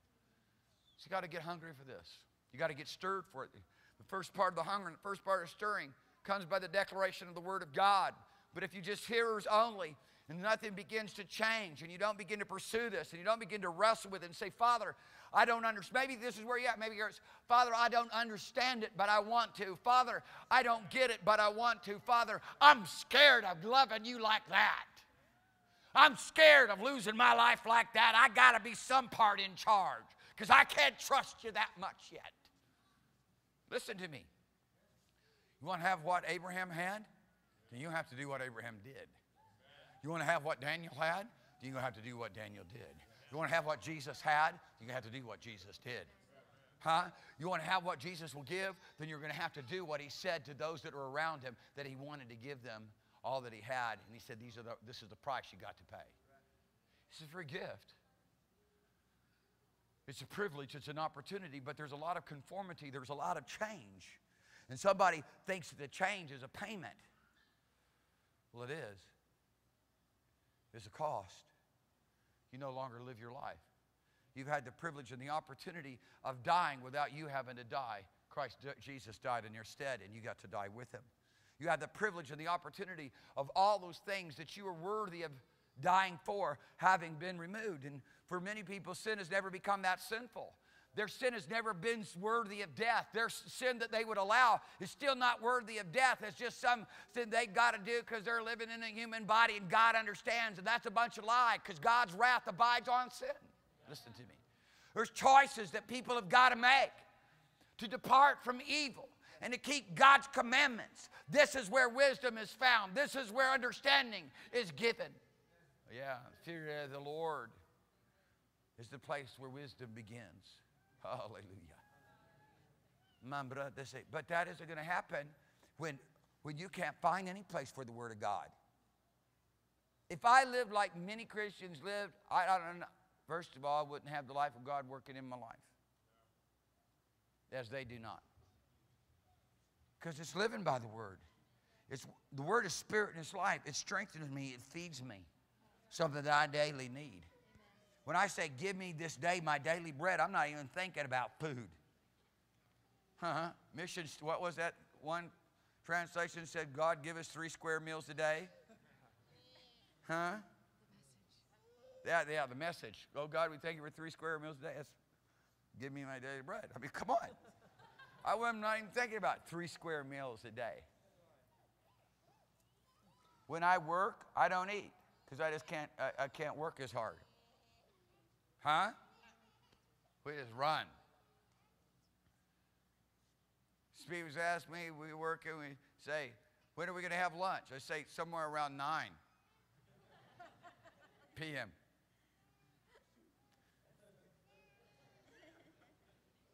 I wasn't even thinking three square meals a day. I was thinking about heavenly food. I think about spiritual food. I want the Word of Christ to dwell in me richly. Huh? I want to be fed in my spiritual man. I want the, how, how is my, the meditations of my heart? How are the words of my mouth and the meditation of my heart going to be holy and acceptable unto God when I'm not hooked up with the Word of God, which is something that you and I have to do on a daily basis if we're going to have the fruit of it? How are we going? Father has given us the privilege of having a continual flow of the Spirit, but how are we going to have a continual flow of the Spirit when we're not willing to be filled with the Spirit? How are we going to have, how are we going to not, how are we going to be filled with the Spirit when we don't even know how to yield to God? Because all we've ever known about prayer is just complaining and murmuring and, you know, being all sorrowful and agonizing. When we've never really learned how to give praise and thanksgiving unto Him. Hallelujah. Father's given us all these examples. He's showing us how to do it. He tells us how to do it. Right in the context here, you know, of Ephesians chapter 5, verses 18, 19, 20, and Colossians chapter 3, verses 16, 17.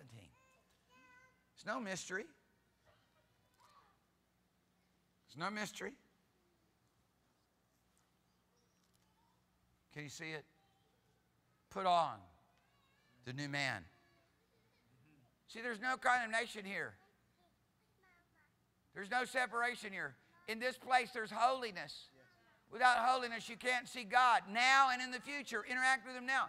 Unless you're born of the Spirit, you can't enter into the realms of the kingdom now and in the future. Listen to me. Understand. These are the things. This is the way it is.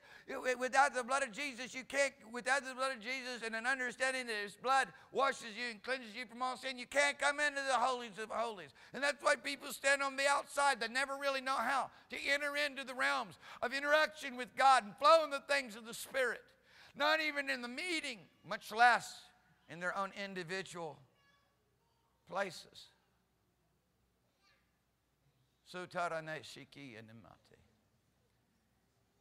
I, I really wanted Allie to wrestle through the thing with us and we would just bear with it because they'll get over it after a while.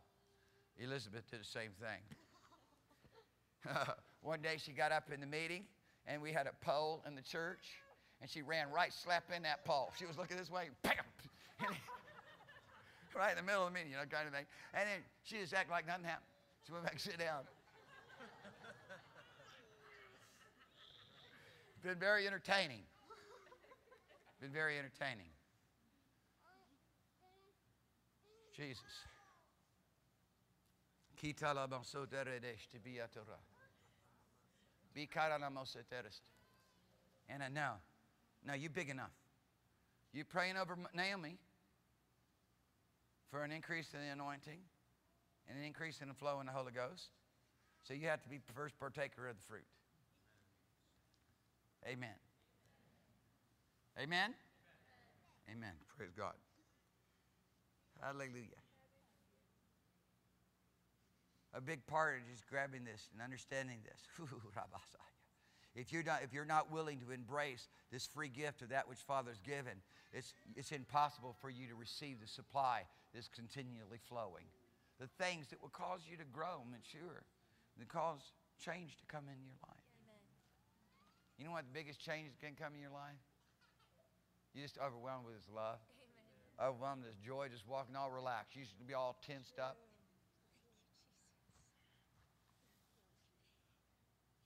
All worried about everything. Now you don't you live in life carefree. He the son says free is free indeed. I'm just free. Hallelujah. I'm not worried about anything. Amen. Father's got everything all taken care of. Somebody said, Oh, what are you going to do about this situation? Nothing. Well, what are you going to do about that situation? Nothing. Well, if you don't do something, it's going to get bad. No, it won't. Well, how's that? Father's got it in control. I'm just going to give him. He can take better care of it than me. Oh, well, you can do it. God expects you to do something. No, he doesn't. He expects me to do nothing. You have a wrong theology. God does not expect me to do anything about it. He expects me to let him do it. Hallelujah. Um, then there's certain things that Father tells me to do and obey that is within the realms of those things that has to do with my behavior and my conduct. Hmm? And obedience, that's different. Amen. And I am trying to read this whole thing. Put on the new man which is after which after God is created in righteousness and true holiness. And you've got to hear that in the context of he created them in his image and his likeness.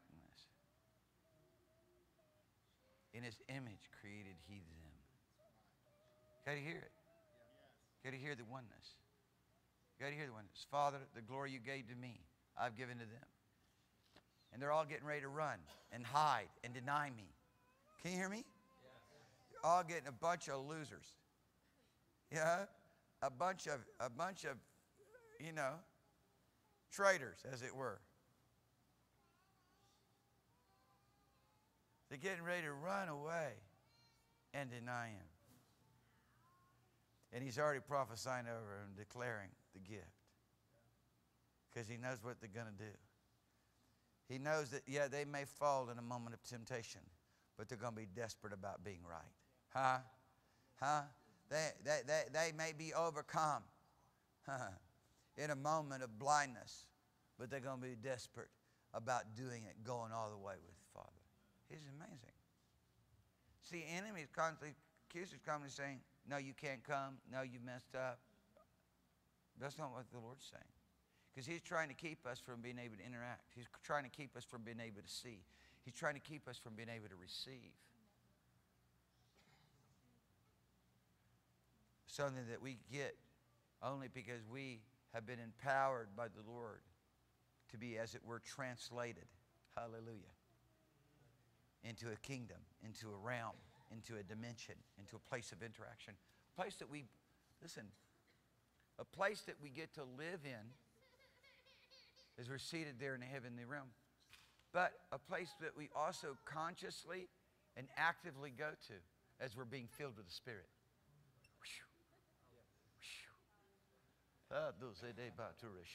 Hallelujah.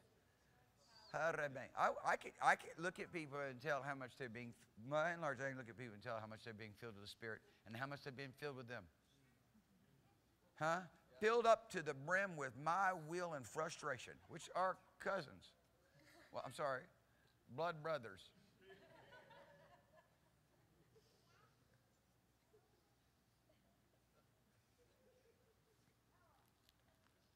I pray from this day forward, I pray that from this day forward, you'd rather be filled with Him than you. Amen. Filled with His will than your will. Amen. Filled with His mind than your mind. Amen. Because if you're willing to do it, you're going to begin to have insight and understanding. It's just going to begin to flow in your life. It's really nothing more than a decision that you make. People constantly making wrong decisions and suffering the consequences of sin that is death and blaming God for it. It's you that made the decision. People constantly making decisions.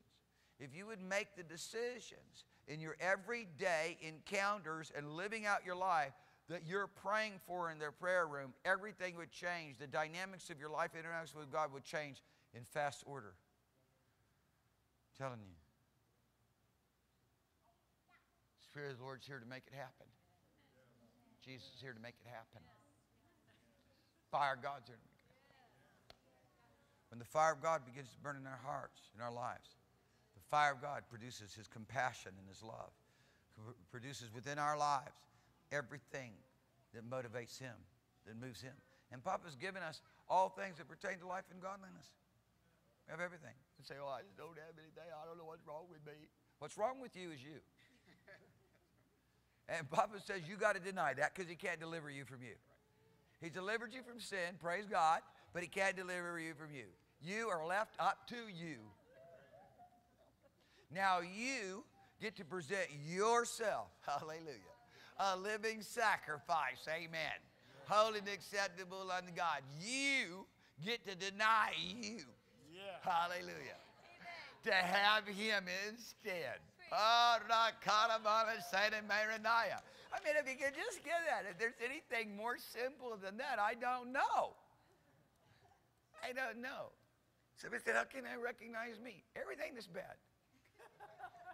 Frustrating, concerning, causing you problems and worry. Huh? That's you. Everything that's good, showers of blessing, confidence, boldness, faith, that's God. hallelujah Hallelujah. Hallelujah. Oh, I would that I would that God's people would just begin to meditate on Philippians chapter 3 of how to think. Do you know that your life would be so radically changed if you just put that before you and you said, This is the way I'm going to think. Father, I thank you for strengthening me and empowering me to think like this. Everything that is true and pure and honest, and good report. I mean, if you just said, I'm going to discipline myself, I'm going, I'm going to put this, I'm, going to, I'm like going to hang it over my eyes. I'm going to tape it up. I'm not going to put a little visor on and let it hang down so I can see it, be out right here. I'm just going to walk around like this. And then every once in a while, just look, see where I'm going. You know, make sure I'm not going to run in anything. But I'm going to get this. And reality of it is, is you can memorize it and say, no, I'm going to live in this discipline. I'm going to give myself to living in this discipline. I, Father, I want you to know that I'm serious about this. And I'm not playing pretend no more. Because the forgetful hearing problem, are you with me, is, is, is epidemic. Jesus. They're going back, backsliding into depression and sorrow, beaten down, cast down, guilt ridden, con- condemning attitudes is epidemic. Death sentence mentality cruel and inhumane punishment that you inflict upon yourself. When all the time the Lord is ministering righteousness acceptance in the beloved. Be ye reconciled. I beg you. Be right with God. Be right in your mind. Be right in your heart. Be right with God. Don't let nobody lie to you and say you're not right. Be right by Christ Jesus. Be right by the blood of the Lamb. Be right by the Spirit of the living God who dwells on the inside. So let the word of Christ dwell in you richly to where that what he says dominates your heart. It dominates your heart. It flows out of you like a wellspring. It flows out of you like a river. You're filled continually up with it. It's activated by the Holy Ghost because you actively participate. You won't live your life a day without it. You're not willing to live an hour without the swimming of God. So many people just run on, I don't know what it is. It's not cruise control self control. Just run.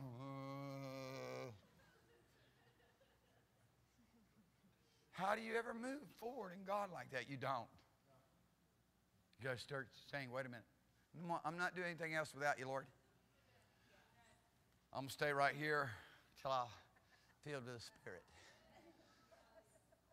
Boss is going to have to wait. Company's going to have to wait. If I get fired, fine. But, Papa, I'm going to let you know. I'm done living my own life by my own strength, by my own power. I'm done with it. I hope you get sick and tired of all the nonsense in earthly realm before you're 90 or even 80. Course, you know, I can believe God for a miracle at 80. Moses had a miracle at 80. Amen. Huh? Joshua did some powerful things. Hallelujah. At 80. So did Caleb. I just want you to get radical with God. I want you to lay hold on God. I want you to lay hold on eternal life. I want, in other words, I want you to lay hold on the life of God. I want you to quit diddle around. Quit, quit playing patty cake religion. Amen. Quit, quit playing I'm satisfied with me. Oh, satisfied with me. I am. Oh. We want you to quit doing that. In Jesus' name.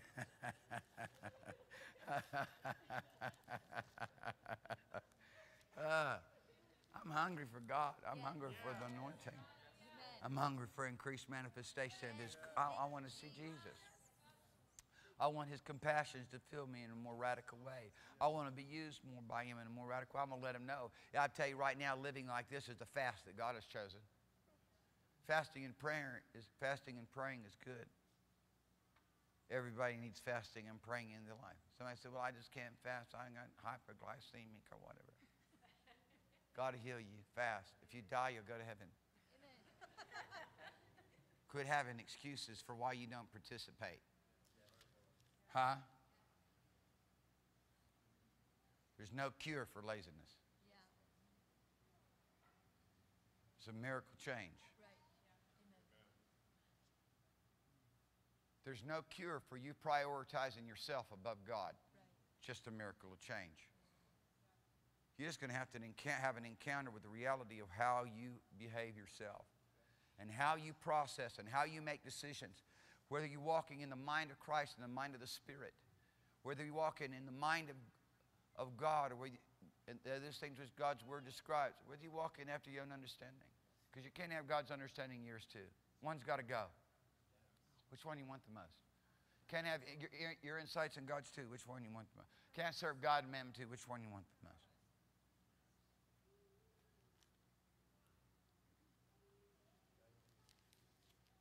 And I'm going to just tell you right now, dear people, don't wait for the day that you're ready. Just begin right now. It's a commitment. Because you're never going to be ready. Just like the sinner's never going to be ready to repent. He's never going to be good enough to be saved. He's going to have to make the step of consecration and commitment. You're just going to have to step up and recognize that it, it, is, it, it is not an option. And you're going as plan C. Divine plan C. It is not an option. It is a requirement.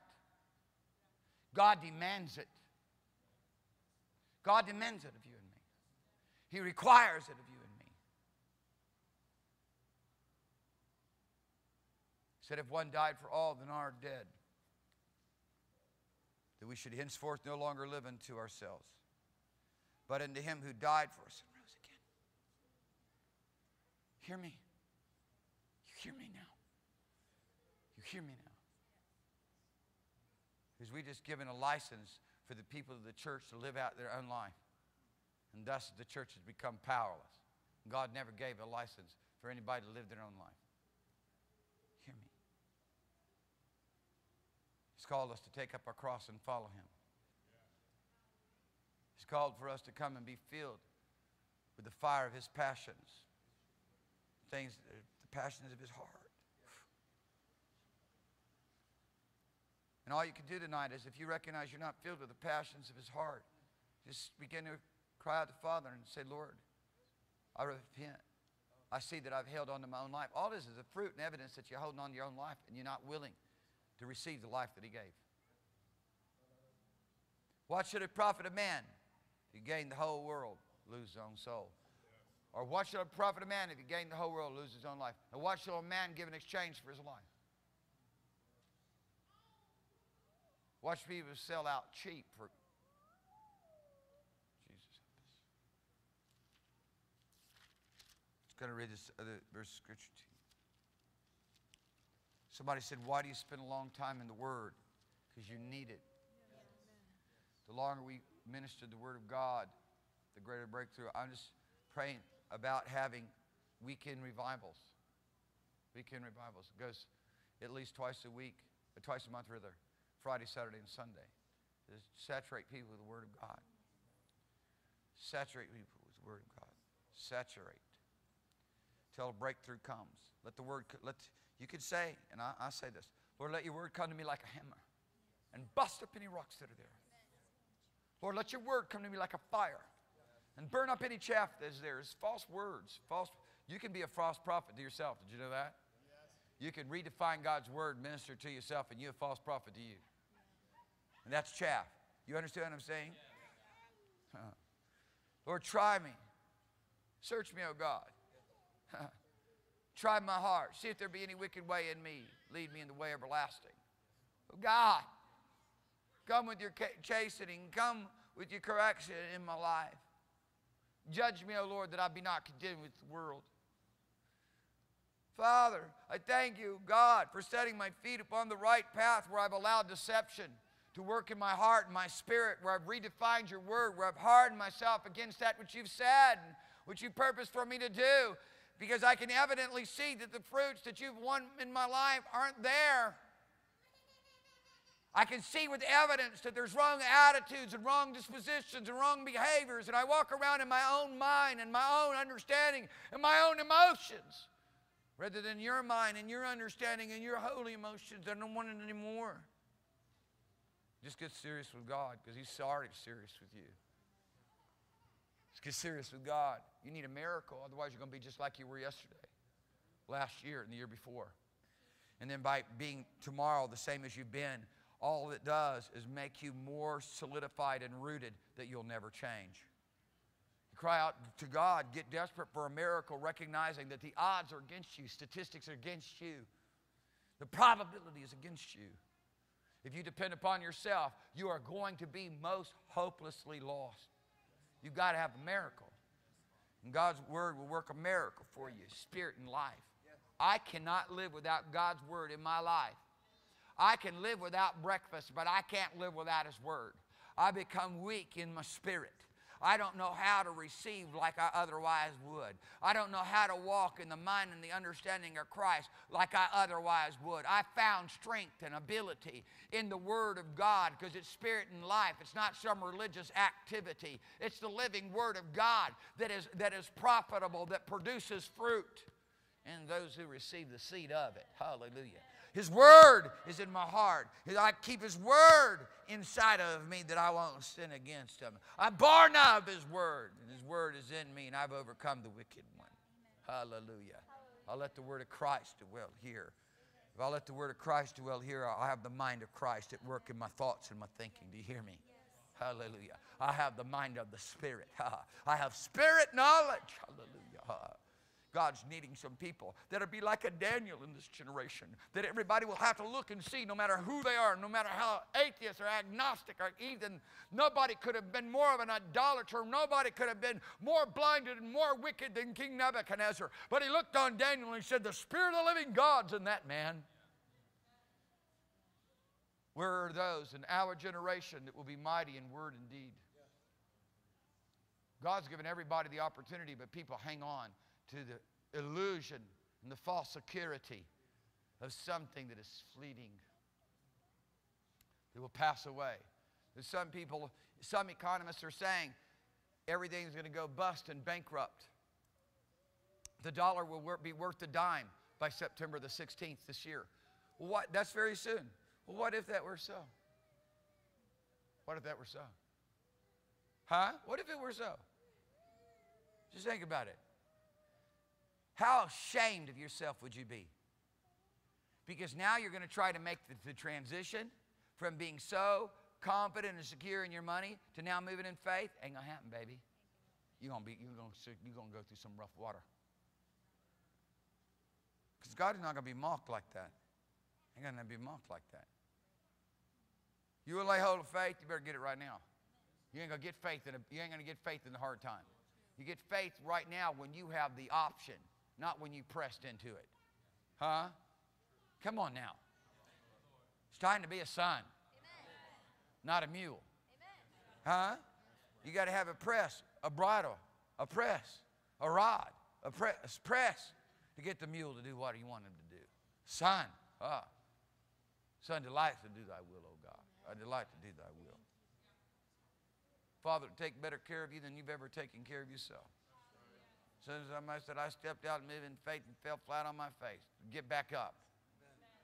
Quit being a baby. I was going to say sissy, but A lot of sissies are stronger than some. I'm going to leave that. Come on, man. Trying to behave yourself like men, women. Amen. Come on. And men. Huh?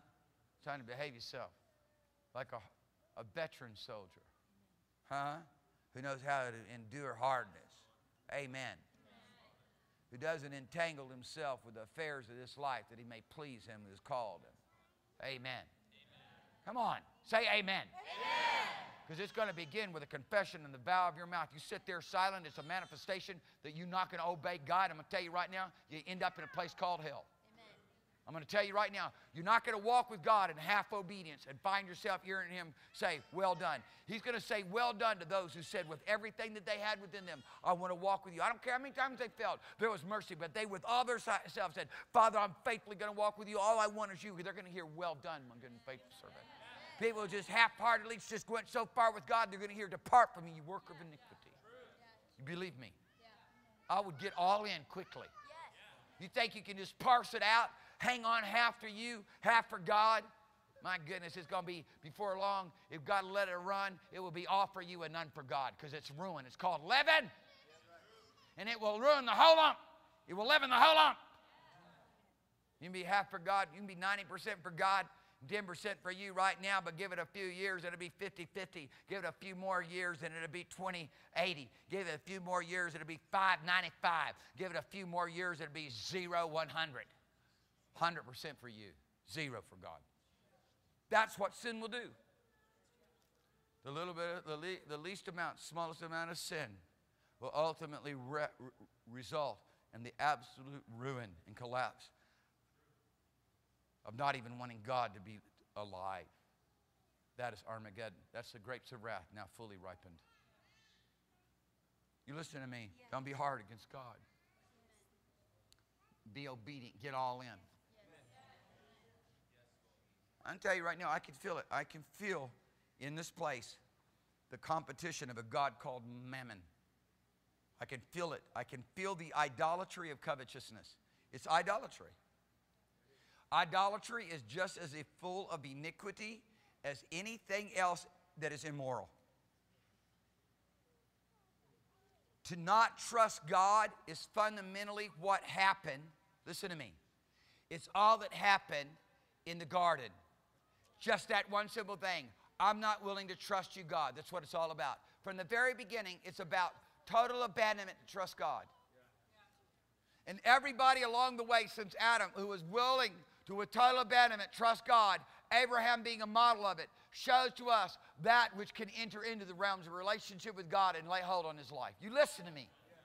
Every man, every woman that has ever been born, every one of you here tonight are faced with the same exact issue.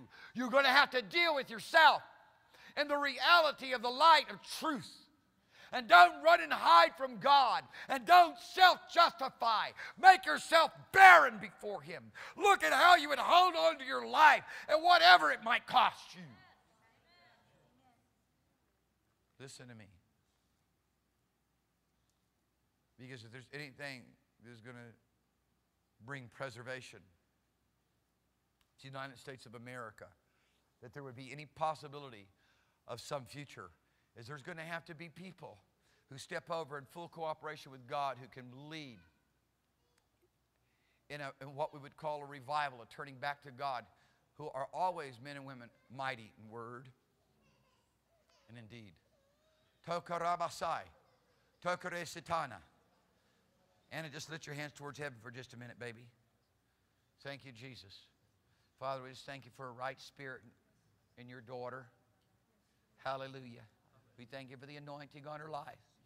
This is just going to be meek and mild in Jesus' name. An obedient, an obedient right spirit. Hallelujah. Hallelujah. Likatana moshipaya.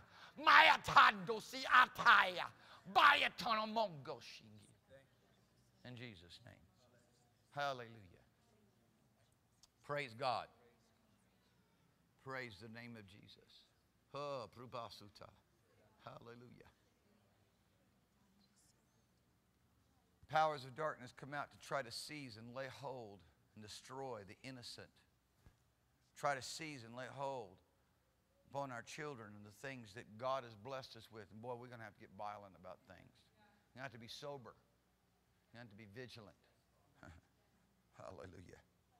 Because your adversary, the devil, goes about as a roaring lion, seeking him and may devour, whom you and I are supposed to resist. We are supposed to violently, aggressively resist, steadfast in the faith. And this is supernatural divine ability that the Lord says if you don't waver, you'll not only say to this fig tree, be dried up, and it would immediately dry up, but you will say to the mountain, be removed, and cast in the sea, and whatever you ask God in prayer, it would happen. Matthew 21, 21, and 22. That's what God says, and it's true. I don't care what anybody else says. I don't care what your experience is. Your experiences are not valid to me. My experiences are not valid to me. God's word is valid. Amen. Your experience is convoluted with your disobedience. In my experience, is convoluted with our inability to walk with God because of, of the hardness of our heart. We're going to break, we're going to fall upon the rock and be broken. Yes. And we're going to be conformed to his image. We're going to do it like he says. We're going to humble ourselves under the mighty hand of God. Now, we're not going to complain and murmur. We'll humble ourselves under the mighty hand. We're not going to say, God, we should have more because we don't understand who our place is and our, uh, uh, who we are and what God's done for us. We'll humble ourselves in the mighty hand of God, and He will exalt us in due time. When the time is right, when things are right, when, because we've been willing to purge ourselves and purify ourselves from these things, now we're prepared unto every good work, ready to go, go ahead and move forward and fully represent God. But to start with, you're going to have to be reconciled. in your mind and your thinking. To start with, you're going to have to be receive the gift of holiness. To start with, you're going to have to be willing to receive all this love of God and begin to enjoy this fellowship with Him. And this is like we have a hard time getting people at the starting point.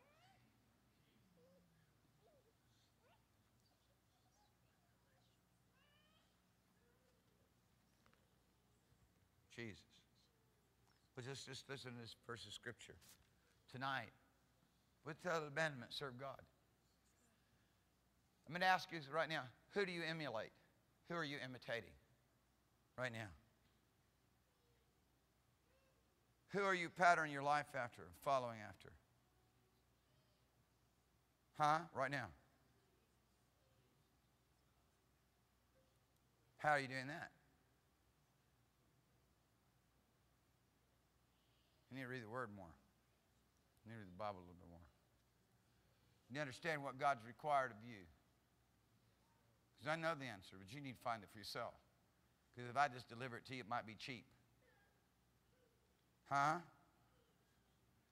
You need to find out that in the Word of God is revealed to us every, if it were a secret, secret that there is to receiving all that Father has. It's right there in the model and the examples. It's right there. It's right there in the understanding of how to be hooked up with one another, how to be under authority. It's right there.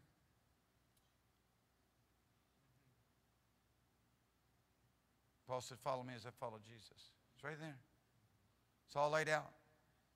We act like it's just options.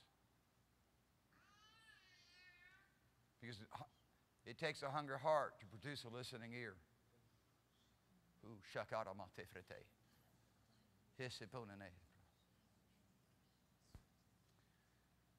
You know, there's been times, I mean, listen, I want you to listen to this. There have been times where I've been passionately and harshly rebuking people, just going after them. How long, you know, how, just going after them. And people resisting me and saying things like, you know, in their mind and thinking, this isn't love, this isn't God. And the Spirit of the Lord tell me, Christ Jesus, tell me, I'm speaking directly through you. Do not, do not be silent. Do not stop. This is me, not you. And think, my Father. And folks have no idea. You're talking. You're pleading. And then you can go and look in the Word of God and see example after example of where He did the same thing with others. So it's not like you don't have proofs and evidence that God does this. It's just that you're not willing to accept it because a hungry heart produces a listening ear. A pursuit of the things of God produces wisdom and insight and revelation. Ah, stick eating that. Now all of a sudden you've got a heart for God. You're not, you know, you, you just know it's God, the Spirit of God speaking. Uh, uh, I mean, John said, He that hears us hears God. Those who do not hear us do not hear God. And that belongs to all those who are called and set apart to God, by God. His word comes out of us and it burns within the heart. People just know it's truth.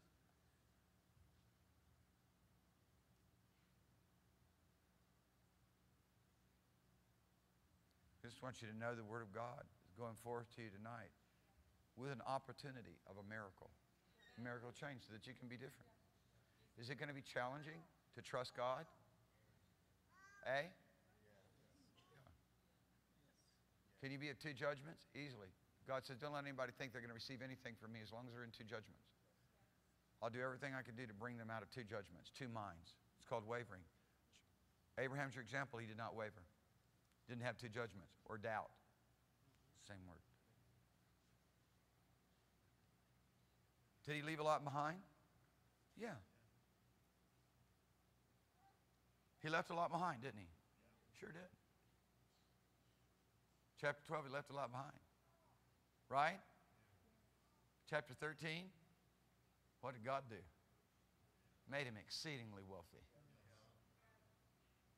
He's never going to step out in obedience to God with total abandonment and not be showered with blessings. Man, there's no way.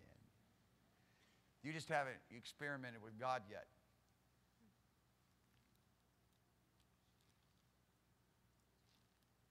Somebody told me, well, you have a special anointing to do these things. No, I have a willingness to obey God and give with abandonment. And the result is that he heaps upon me. Uh, he causes men to heap into my bosom. A friend of mine calls me up yesterday. Uh, was it yesterday? What was what day before yesterday? Was it day before yesterday? It's day before yesterday. Said I just got given like this 60 acre farm, this beautiful house and this barn and this fence and cross fence and all this anchorage. And God's already given him so much. Just give men begin to heap. I watch how he gives with total abandonment. I mean, he gives, gives generously with total abandonment, thinking not of his own need. And watch just heaps, piles. Other people just conservatively holding on to what they got. That's all you're going to ever have. You're going to die naked standing there holding on whatever little thing you got.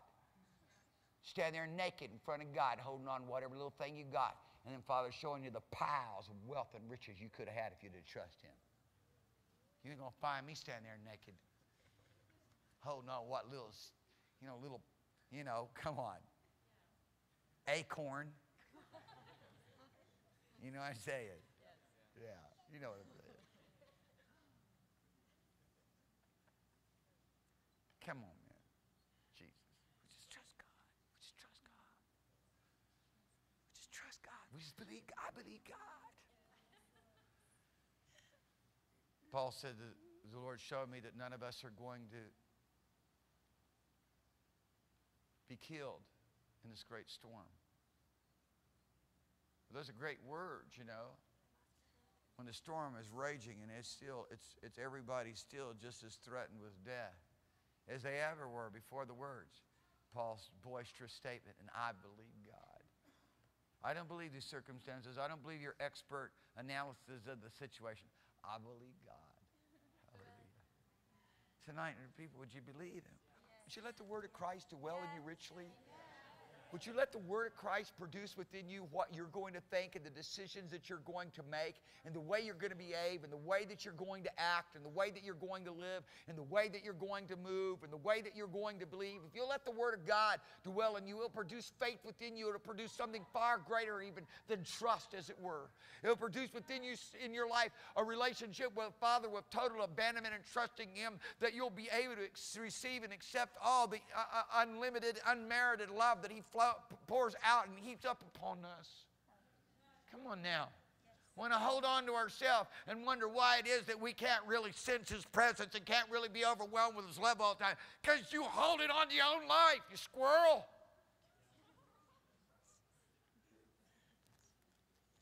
You're holding on to your little acorn.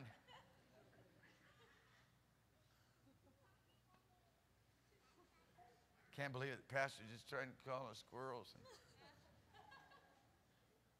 doing everything I possibly can to persuade you. Don't live your life like a mere man. Amen. It's just as bad as saying squirrel. You know what I'm saying? When I'm mad at anybody, when I mean to defame you. Just trying to help you understand the behavior.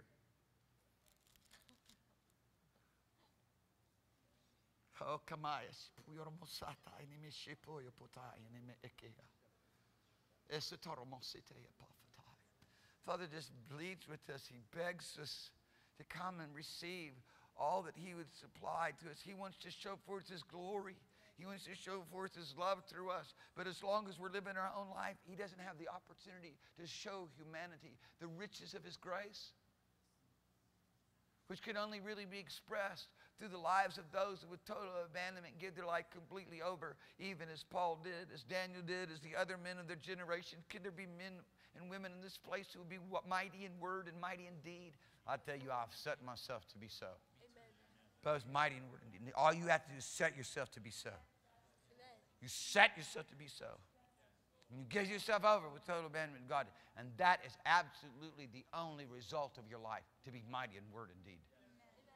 Tokuredeshe, halabatarane, haremajishukina, derinandareshiti kirasa, halabandase. I came in here tonight and I heard um, Jacqueline praying in the Holy Ghost.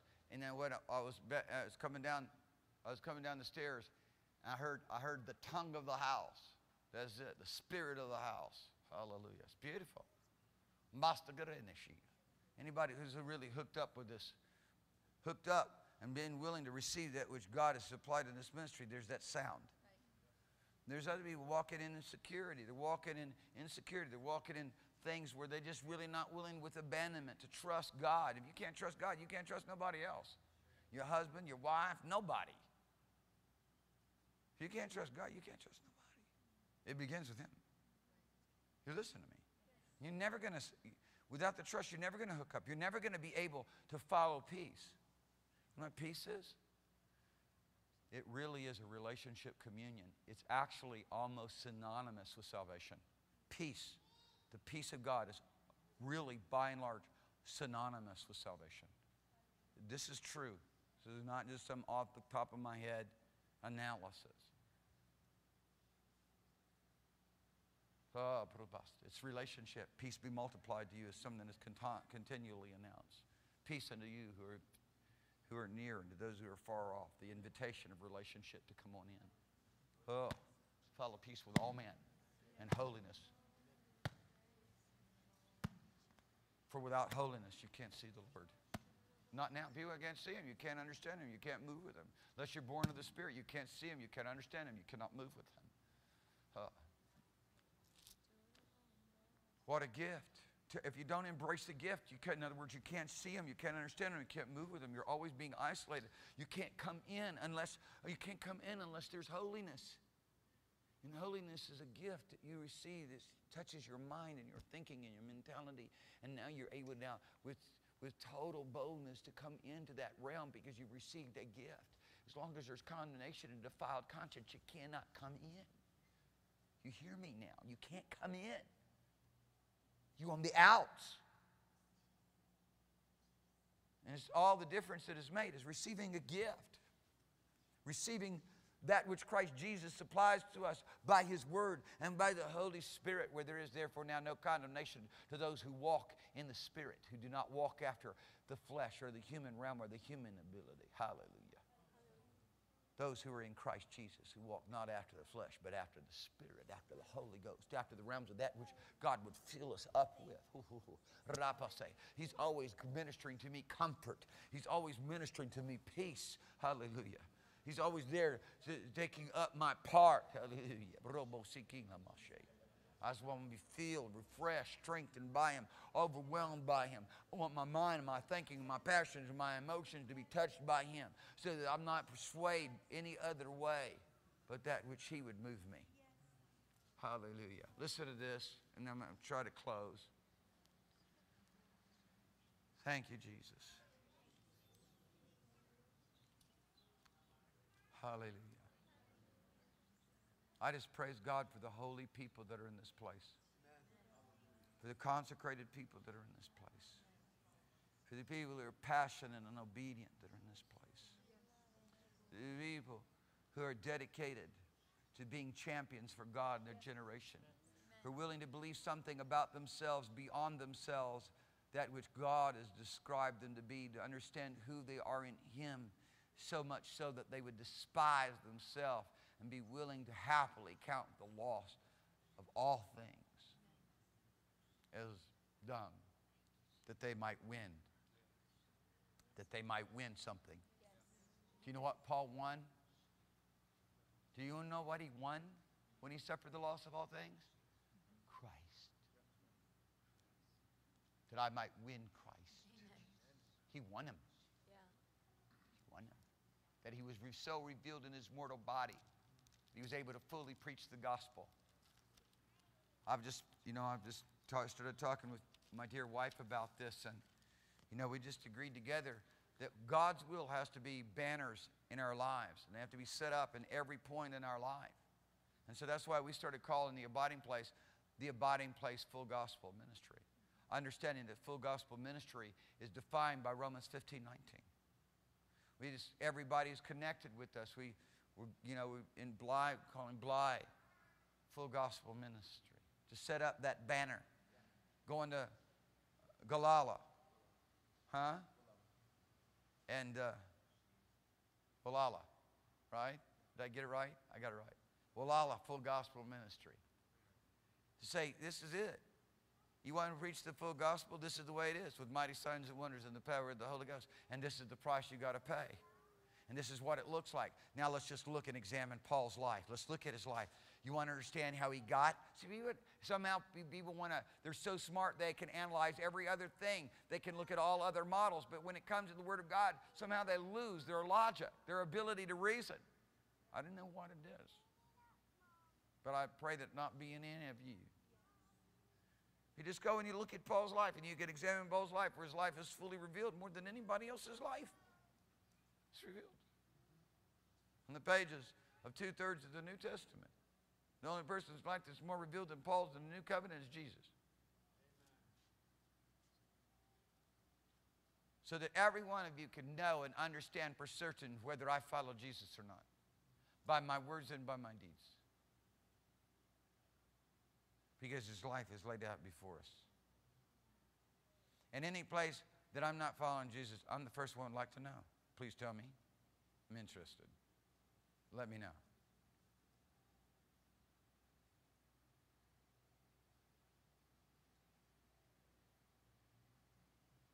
Because there's absolutely nothing more important to us than being conformed to his image, to being like him, to doing what he did, what he does. That's holiness. Do you understand me? Sanctification is holiness. Do you understand?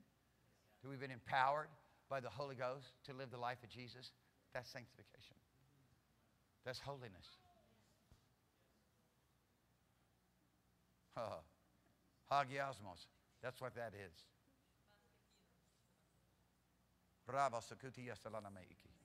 Bandandare. Shia termosopra. Hallelujah. Tekeneata. Amen. Yep. Sutoranea. Sotoranea. Sotoranea. Because when you can activate on that, and I hear some of you doing that, same way, same way with prophecy, same way with miracles, same way with the other, other flow of the Holy Ghost that's in the midst of the body of Christ because the, these manifestations are given so that we might all be brought together. Hallelujah. And flow is one man, baptized in one spirit. The activation of the Holy Ghost with same mouth, same mind. Hallelujah. Same expression. Ha. Ha tu rabase tekena. I'm talking about mighty in word and deed expression. I'm not talking about sit around and be religious expression. I'm not talking about sit around just be a church person. I'm talking about uh, the anointing expresses mighty in word and deed. Soul out to God in the Holy Ghost. Amen. That's who we are. Does anybody here actually think that you can do more through you than you can do through him? Is there anybody who could reason that way? I can actually do more by my own self than I could do totally trusting God with total abandonment. Well, then, then you have no choice and no logical reason to stay in any place other than total abandonment. Step out. Step out. Uh, step out. Hallelujah. Step out. God gives a heavenly vision. It is not logical, it's not rational. You cannot analyze it and figure it out and come up with any conclusion that makes it seem like something you should do. None of God's instructions are that way. Like stand still and behold the salvation of your, of your God. And there is no logical escape. Analyze. It's a sea there and an army there. There's no escape.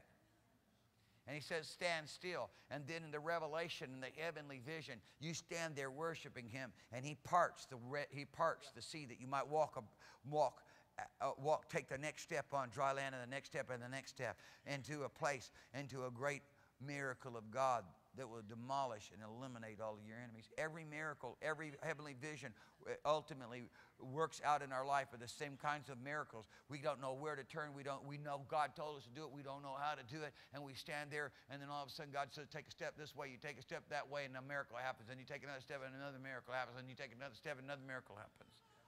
And you just start walking in the general direction. You don't know where you're going. You just know you got to go. This is the way it works. Read it. Read about it. It's total dependency upon Him. It's to complete abandonment of all your resources. Complete abandonment of all the things you've come to learn to trust in. Hasn't really done much for you, anyways. Huh? Maybe if you were Bill Gates, we'd have to reason with you a little harder. Maybe if you were like Steve Hawkins or something, we might have to talk to you a little bit more because your intellect has really done some major things for you. But for the rest of us, we're just sitting here squandering our lives as it is. you know what I'm saying? This is go ahead and give ourselves over to the intelligence and brilliance of God and go ahead and have what He has for us. Come on, man. We've made a mess of what we've been. Come on now. It's never too late. It's never too late. Not until you breathe out your last breath. It's never too late. God's mercy extends to us not to justify wickedness or wrongdoing, but to extend the opportunity to change. That's God's mercy. It's an extend, it's Him extending us an opportunity to change. God's extending to you and to me tonight the opportunity to change, and I'm going to change. Hallelujah. I'm going to run more passionately, more violently. I just got an invitation. Friends of mine just said, listen, there's ministry down in Tecate, Mexico, and they've got five churches and they need help. And first thing in my mind is I'll just send somebody. And I'm like, I'll go. They're just going to get more radical. I mean, I want to empower people, but I'm going to tell you right now, I want to send people that are radical. Amen. I, want, I like to send people more radical than myself. I want to send somebody some second string. These guys are starting to move a little bit. They now are just one, one cut above, just sitting there and doing, being lifeless. No way, man.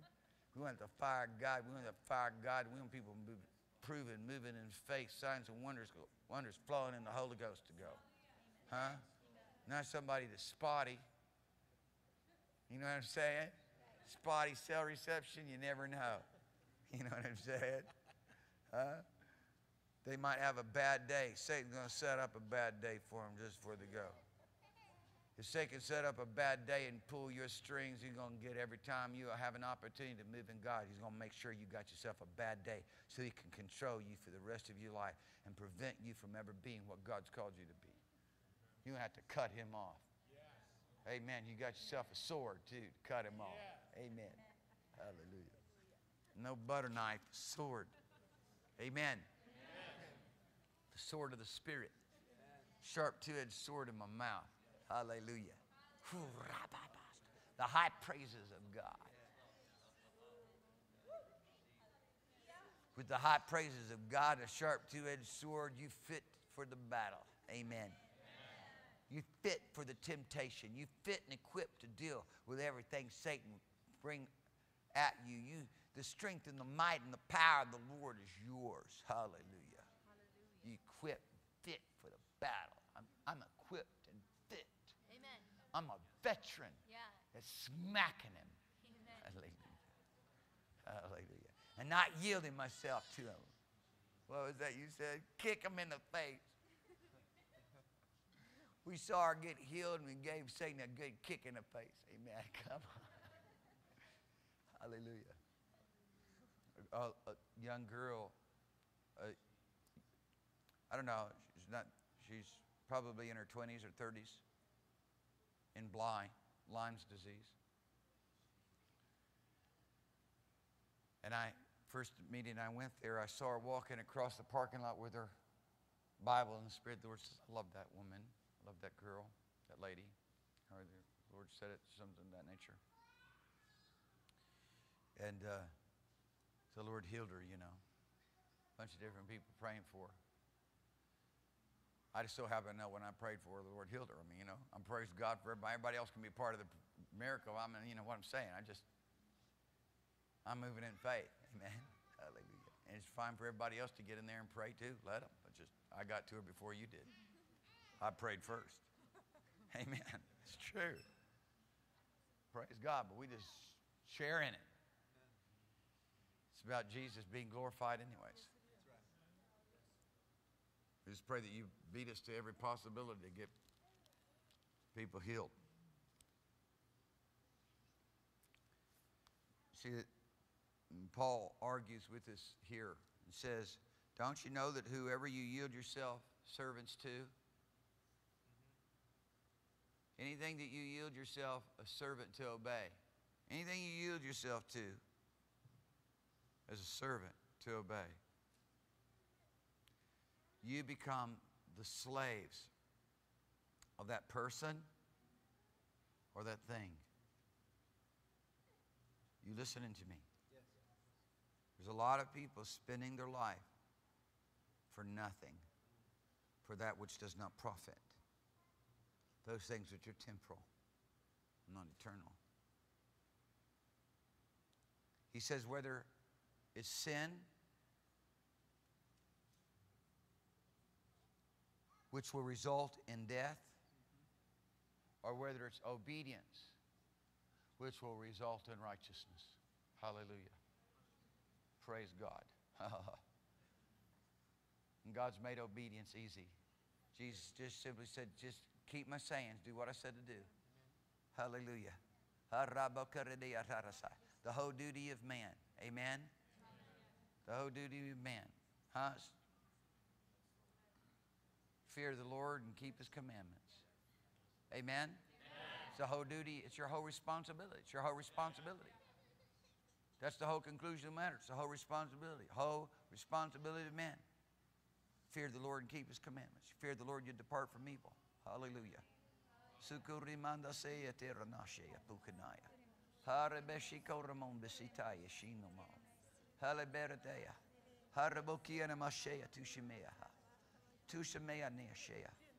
It's wonderful to be a person of the Holy Ghost, to be a person of the Spirit, isn't it? Learning how to depend upon Him, speak by Him, move in Him, move after Him as He shows us and moves through us, and uh, uh, as we to teach us how to live this wonderful life, this life of Jesus. But God be thanked that you were the servants of sin, but you have obeyed from the heart that form of doctrine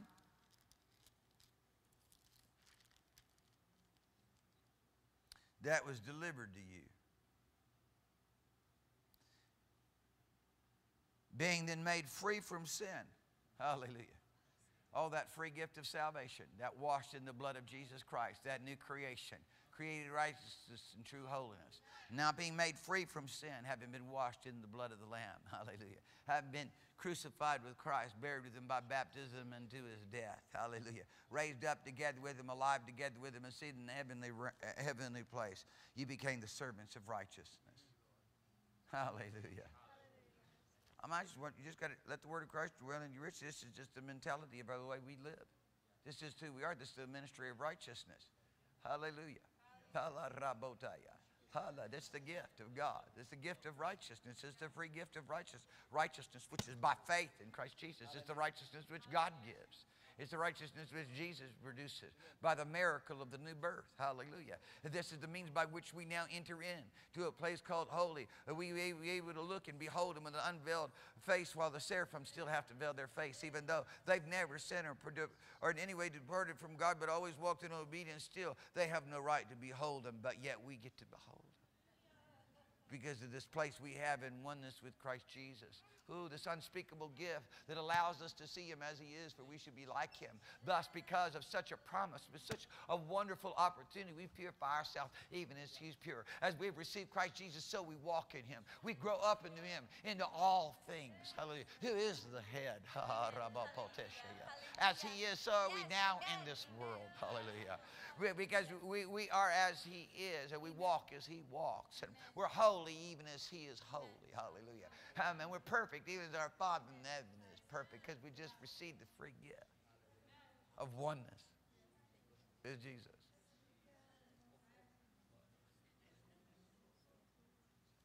this allows you to see him to know him to receive from him to praise him to be elated with him, to be accepted, to have access. to no longer have a, a conscience burdened with sin. Hallelujah.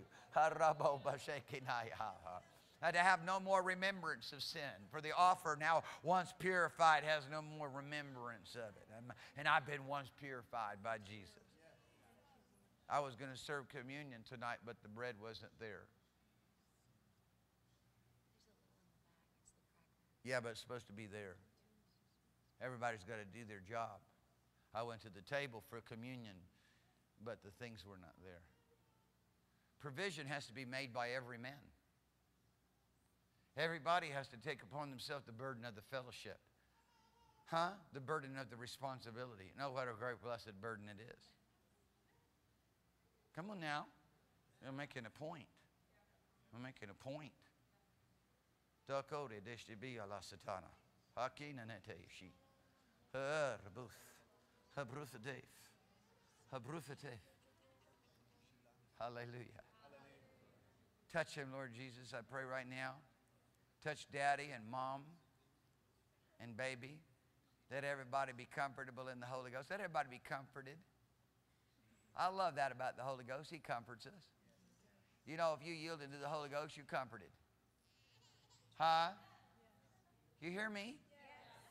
I pray that you got discernment from here on in. You're not comforted, you're not yielding to the Holy Ghost. He's just rabasa. You don't feel like you got help, something's wrong with you. Because He's the helper who's come to lead you and guide you, fill you up, supply you with all things that you have need of. Amen. Amen. Amen. Listen, dear people, I don't care who you are, where you're at, what you're going through. We're set on getting you healed. We're set, we're set on getting you moving forward, equipped in God. Set on it. Amen. Amen. I don't care. I don't care how much it, how much effort it takes, so long as there's something there to work with. The only time that it begins to become a problem is when there's nothing there to work with, and it's just opposition. It's obstinate. Then you have to deal with it because that stops and shuts things down. Holy Ghost will point out and say, I'm not saying another word. I'm not moving. You're not going to feel another moment of my manifest presence until you deal with that problem. Guess what? I'm going to deal with the problem. Believe me. Hmm? You know how you feel if you've sinned, done something wrong? Huh? You got to get it right. Can't move on. Listen, I had to deal with the same kinds of things as a minister of the gospel. The Lord said, You deal with that. You deal with it right now. Same way, same, same kind of Holy Ghost conviction. And then people get upset at me. You're not upset with me. You're upset with God. And you can either find out about it now and repent because you just are willing to believe what people who know more than you know are say, saying to you, or you'll find out on the day of judgment. You know what I would do if I were you? I'd repent right now because there's some people spotted with that thing. They spotted with the offense of speaking against God's word, speaking against the things that the Holy Ghost is saying, making it that which man has said. I guarantee you, Father's not going to let Father raises people up, faithfully serve Him. I faithfully serve the Father. I've faithfully served him in the things that he's given me to do. And he's not, he does, he, he takes up our part. I want you to understand these things, people, without holiness. You can't have you, you can't be spotted. And it's so easy not to be spotted with the flesh. Spotted with sin and iniquity. So easy. Just repent. It's beautiful, man. But if you harden your heart and you become self-justified and you don't repent, somebody reaches to you and speaks to you, God, see, God's always declaring the things that are going on in our life in every meeting so that if we'll hear, sometimes, sometimes people go, well, he's talking about me. Yeah, I am. Repent. Because then you, you get self-justify. He's talking about me. I can't believe it. You know, just picking on me. Doesn't like me. No, you just now moved past conviction. God wanted to address something you're spotted with. You want to get it off of you so you can move forward with God. And you just went ahead and wrestled it to your own destruction. You see what I'm saying? It's the same way with reading the Bible on a consistent basis. Because then, as you're reading from Genesis 1 1 through Revelation 22 21, and I don't care how long it takes you, just be consistent. Okay? If all you can do is read two verses a day, well, God bless you. And now it takes you an hour to read two verses. Just keep at it. It's going to be get, get better. Amen. Hallelujah. Praise the name of Jesus. He'll use it in your life to bring correction. It, because if you don't, you're not going to get correction. You're not listening to the Word of God. The Word of God blankets every possible thing that could be going on in our life that would be an offense. So if we're reading through the whole Word of God and the whole counsel of God, the Lord be saying something to Ahab, and we realize we did the same thing.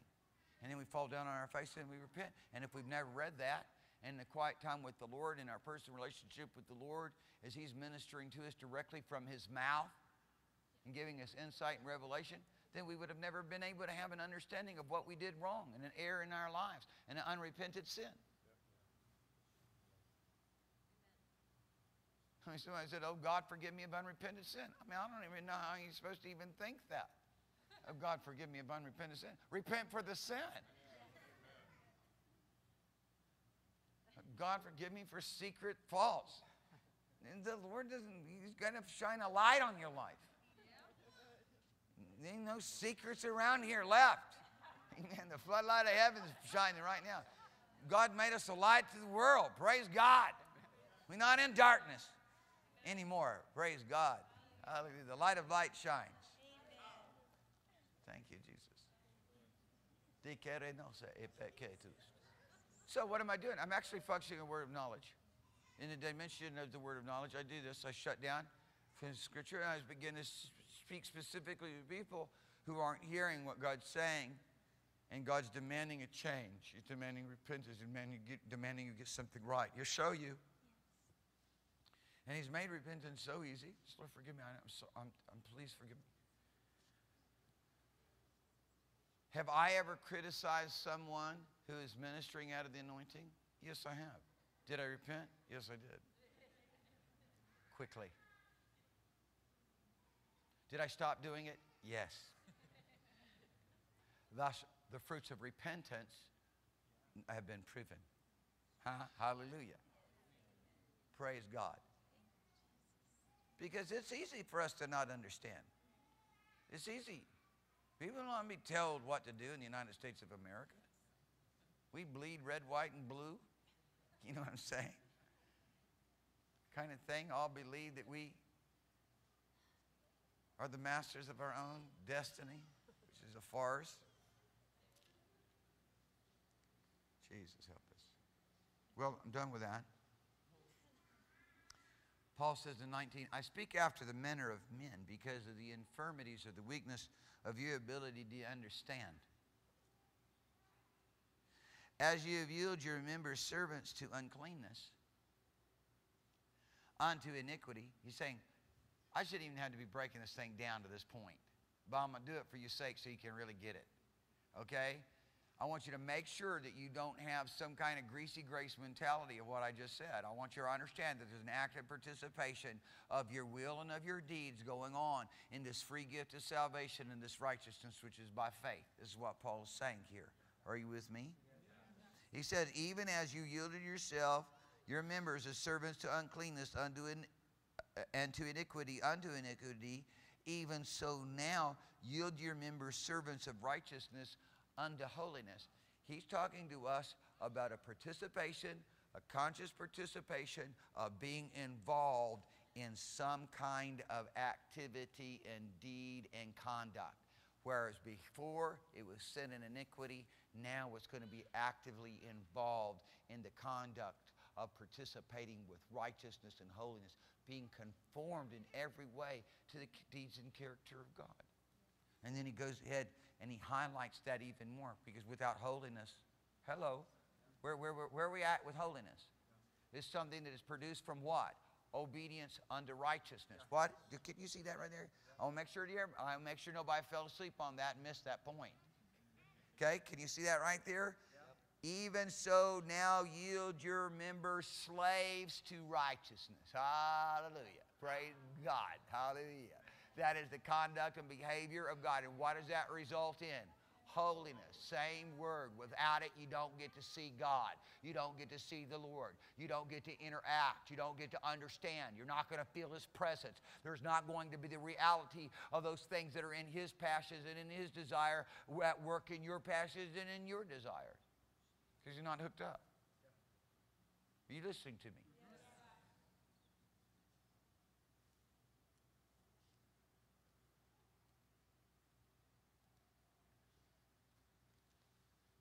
Many people stand at the crossroads of temptation and they don't realize that if they would just simply do what God said to do, obey God, turn from evil, in other words, hate it, eschew it, turn away from it, disdain it, no matter how much the pressure is on you, to say that it's going to fulfill something and give you something, some kind of entertainment, some kind of pleasure, because some kind of cheap thrill. If you'll turn from it and obey God, that you find at that moment the vein of divine wisdom, God's insight, His perception to see as He sees, to understand as He understands, to move with Him as He moves.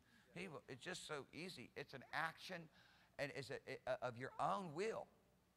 It is something that you and I have, are given an opportunity to do every time we stand at the crossroads of temptation. Father's not allowing anything to take place in our life except for He knows that we're able to deal with it and He's given us the means and provision of ex- way of escape. And when we're conscious of this, and the Word of God is richly dwelling in me, and I say, wait a minute, I'm brought here right now at this temptation by the design of the Father because He's searching me out right now. He wants to prepare me. He's asking some questions about my life. Father, I want to do it your way. I want to be found pleasing unto you. I thank you that you made me able to endure this, to bear it, to deal with it. You've given me the power and the insight, and that you've made a way of escape, and I go to worship Him and pray praising Him. I'm going to tell you right now, you're going to deal with sin and iniquity in an entirely different dimension. It's now going to be dealt with after the things of the Spirit rather than after the things of human discipline and ability. Listen to me.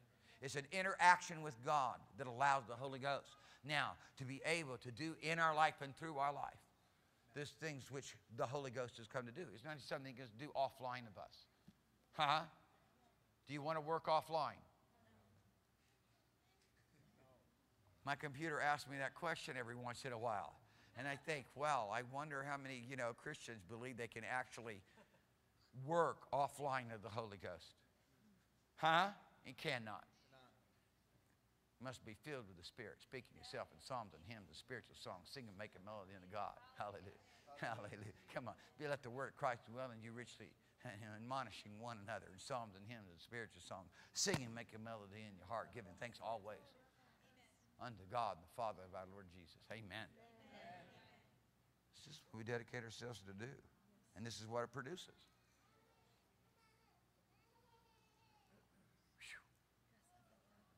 God said, Be holy as I'm holy. And I said, What do I do? I say, Yes, sir. Oh, I don't go, Oh, how can anybody be that? You know, argue with God? You say, Yes, sir. You say yes. You don't argue with God. All you're asking me to do, asking too much. He gave you the gift. He's saying, be in this state, be in this mentality. I give you the gift. I empower you with the ability. There's therefore now no condemnation. By one sacrifice, you are forever purified. I pray tonight in Jesus' name you'll get it. This is the battle. This is where the biggest part of the battle takes place, the battle of the mind. People go to worship and everything, everything that Satan can possibly throw at you starts flashing across your head, across your, across your mind. Something you did 20 years ago. Potentially. Hopefully that's not the case with anyone in here. But there are some people who won't let things go. 20 years ago, I trusted someone. and they stole something from me. Well, they steal. Well, I had this special little heirloom from my mother. Well, what was it? It was like this little plastic thing.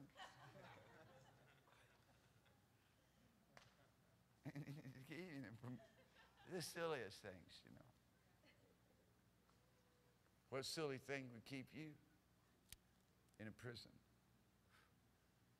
that you would hold on to, would keep you from the riches of heaven? Let all come to an end tonight. Let it all be washed away. Let it all be put to death. Let it all be erased. Let it all be removed far from you. Hallelujah. Come on. Come on, Catherine. Come on. Hallelujah. That's good. For when we were the servants of sin, you were free from righteousness. It's a terrible thing to be free from, isn't it? Hallelujah. Hallelujah. But now that I'm free, now that I'm free from sin, hallelujah. Hallelujah. I just live in the realm of righteousness, you know. This is a beautiful place. It's a ministry of righteousness. It's just where God's just constantly ministering to us. You right, you right, I've made you right. You one with me, I love you, and you love me. I've empowered you, and I'll set you free. I mean, the ministry of righteousness is a beautiful thing. I did it all for you, I paid it all for you. I've got great plans for you. I'm going to make you great. Just participate with me. Just let go of all that, uh, all that other stuff. Come stand over here with me. Standing in the clouds of glory, it looks like a risky place to stand, but come on. Come on. Come on. I can just see Father with his hands stretched out. Say, come, come, come, come. And I pray that you'll get so radical about your abandonment to serve him and follow him that you'll come running there won't be any hesitation. You'll run. Amen. You'll leap over top of everybody. you just throw yourself out there. Amen. Hallelujah. It's one time you can push and shove.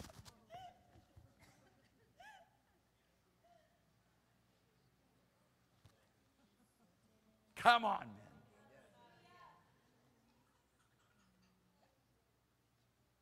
What fruit had you then in those things whereof now you're ashamed? For the end of those things is death. But now being made free from sin, you just become saturated, so saturated with righteousness that you just slaves of righteousness, you just righteous all the time. You righteousness on the right hand, righteousness on the left hand. You righteousness before you, righteousness behind you. You righteousness coming in or righteousness going out. You've got God kind of righteousness, the Jesus kind of righteousness. Self righteousness is far from you. You had the righteousness which, which is by faith. Yes, yes, even the righteousness of God, which is by Christ Jesus. Wow. See, now you can worship. Now you can come into the holies of holies. Now you can receive. Now you can interact. Now you can flow. Now you got boldness. Now you got confidence. Now you're so filled up, there's no room for anything else. Now there can't be a void. There can't be an emptiness, something that Satan can begin to take advantage of and now fill you with other things. Can you hear me? Can you hear me? Can you hear me? Can anybody hear me out there? Can you see that Jesus paid it all? Can you see that He ransomed you from the grave? That He ransomed you from the death? That He overthrew that power which you had no might against, no possibility of winning. And He gave to you a place to sit at the table. Amen. Hallelujah. My nameplate's there. Yeah. It's my spot. Right. Hallelujah. Hallelujah. Hallelujah. Ah,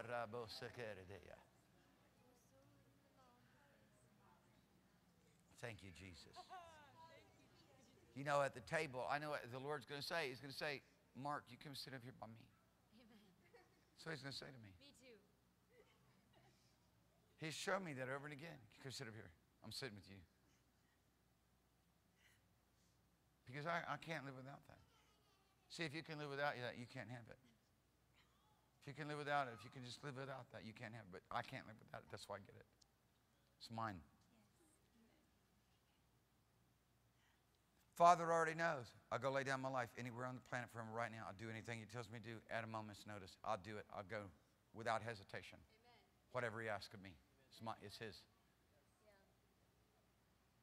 I'm over the decision making. Right. I'm all in. Amen. Proven, examined, evaluated, and found to be all in. Amen. We just invite you, come jump in. It's good over here. Yes. The water's really nice. I mean, it's beautiful over here. And all you want is more, Amen. not less. Amen. There's no regret over here. Amen. There's no sense of loss. It's only gain upon gain. So much so that you got to have more. Amen. Amen. Hallelujah. when the world sees it in us, the way it's supposed to be displayed, they'll come running. It has not been displayed in our lives the way that God has intended it to be. There can't be any more reluctance. There cannot be any more wavering. There cannot be any more holding back. If what Father's purpose to do in the earth in our generation is going to take place, it'll happen through you and me. It'll happen through his people. If not through you and me, somebody. God's going to raise up somebody. There's going to be a people. And I just purpose is going to be me. And I'm, of his purpose is going to be everybody that's around me. I'd hate for anybody to have been in the ministry where I'm at and they have anything less than a full, sold out heart and life to Jesus. Anything less. I'd hate that people sit in the ministry and become nothing but stale, stale, moldy Christians with a half smile. You don't know that you're going to get bitten? or that they're happy with your presence.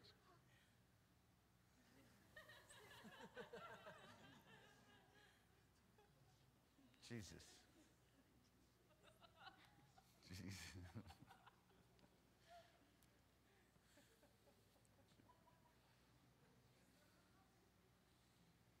Jesus. Bante. Tonight, I want you to get sold out to Jesus. I want you to get sold out to Jesus. I want you to understand that you're not allowed to touch the souls of other people unless you're sold out to Him. And if you do, you touch them wrong and you, call, you cast a stumbling block. It'd be better for you not to enter into this life.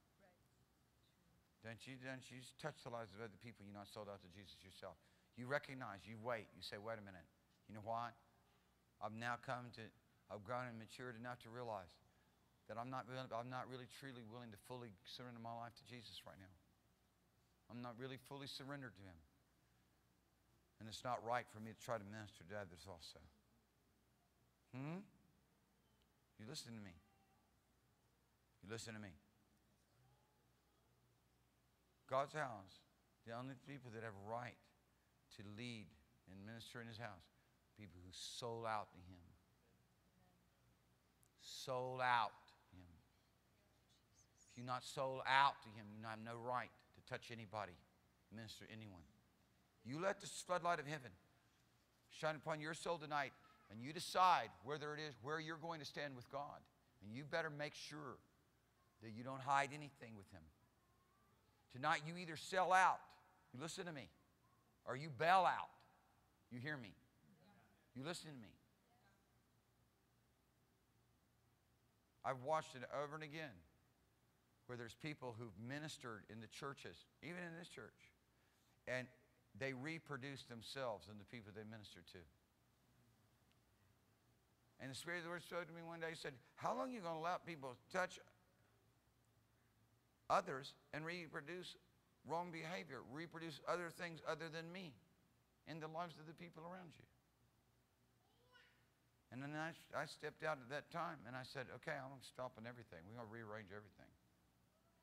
Because I just really thought I was given, you know, because I'd received some counsel and advice from other people. Just give people an opportunity and they get in to start ministry. And then they'll come under a greater conviction of the Holy Ghost and they'll start conforming to God and yielding to God more and allow the development of the Holy Spirit in their life through ministry. I thought, well, that sounds pretty good. But it didn't happen that way. All they did was they were stuck in their rut and they were reproducing their rut in other people's life. Because whatever's in your spirit's going, you, that's all you can reproduce. Whatever's in your spirit is what you're going to reproduce in a person's life. You hear me? At best. And that is that they're going to hear you. You understand that the more critical ministry, people don't realize it, critical ministry up there and the babies. They just squawking, don't seem like they're getting much. But it's critical ministry because they're very passive. They're just going to do whatever. Ch- and, and children, children's very, ministry very important. They're more passive. Just reproduce whatever's in your life. You better make sure you're sold out to God. If you're not sold out to God, don't, don't do ministry. You hear me? You cast a stumbling block. I was just dealing this with I was just dealing with this with a preacher yesterday. The person that causes the stumbling block, yeah, the people that stumble, they're, they're in trouble. But the person that causes the stumbling block is in greater trouble. Be better you not entered into life. Examine yourself. Let there be not many teachers among you, knowing that they have received the greater condemnation. Because if you start emulating, teaching, speaking things, because if you're wrong in your spirit, if you're not sold out to God in your spirit, you're going to speak things out of your spirit that are wrong. And they're going to do damage. And then you're going to minister out of some kind of frustration. Are you listening to me? Rather than the passions of God. Sometimes you don't understand. Sometimes it almost can sound similar. Where somebody's you know, ministering out of the passion of God and frustration. You listen to me. I don't care where, what kind of ministry, even school teachers, especially Christian school teachers, whatever you, if you any place standing for Christ Jesus, in the place of Christ Jesus, and you're trying to minister to people and you're not sold completely out to God, you need to stop until you're sold out, until your life is fully consecrated to Him, and you're holding nothing back. Are you listening to me? Yes. Without holiness. Without holiness. Righteousness is a complete sold out to God state. Do you know where that first appears for us? And it was accounted unto, unto Abraham for righteousness. Why? Why? Because he trusted God, because he believed God, because he just did what God told him to do, a total abandonment. You and I are supposed to be servants of righteousness. If we're not servants of righteousness, it's not, we're not going to have the, the end result, which is holiness. And you just have to deal with it. You got to get on. You got to get on the bench. You know what I'm saying? Yeah. It's called the mourner's bench, and decide where it is that you're going to finally surrender completely over to God and quit holding on to yourself because you, you know that thing. You, that thing is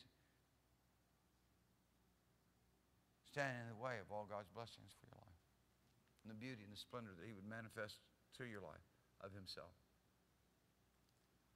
I can stand up here tonight with all clear conscience. My, my life is completely sold out to Jesus. Silver and gold have I none. Hallelujah. Ambrosatea. I've given it all away, and anything I have belongs to Him. It's His at any moment, any time. Anything that I possess is His. I call nothing that I call nothing that is within my power of decision making my own. It's His. Belongs to Him. Halapokoranaya. Eserinai. Itonomongia. He paid his, he gave his life for me that I should no longer live unto myself. I to live unto myself. Huh. I have a hard time even thinking about buying something for myself. Because I'm thinking about buying something for him. Is it true or not? I think about his, his, what's going on with him, what is in his heart to do. You listen to me.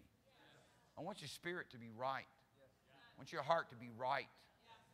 Because self interest will destroy every beautiful thing that God would produce in your life by the Holy Ghost. You're going to have to learn how to deny yourself. You're going to have to learn how to burn with the passions of God, the passions and the desires of the Holy Ghost, the virtue and the character of the Almighty. He's giving you everything that you need. But He's not going to force you. You have to choose. To flow is easy, receiving from Him is easy. Hallelujah. Hallelujah. Be prodosekina. And he, he can evaluate me. I know that my prayers have been answered already. Your prayers have already been heard in heaven. His, uh, his ears are open unto the prayers of the righteous if you walk in righteousness. In other words, you receive the gift of righteousness. And you're walking in that obedience to Him. He's, his ears are open unto your prayers.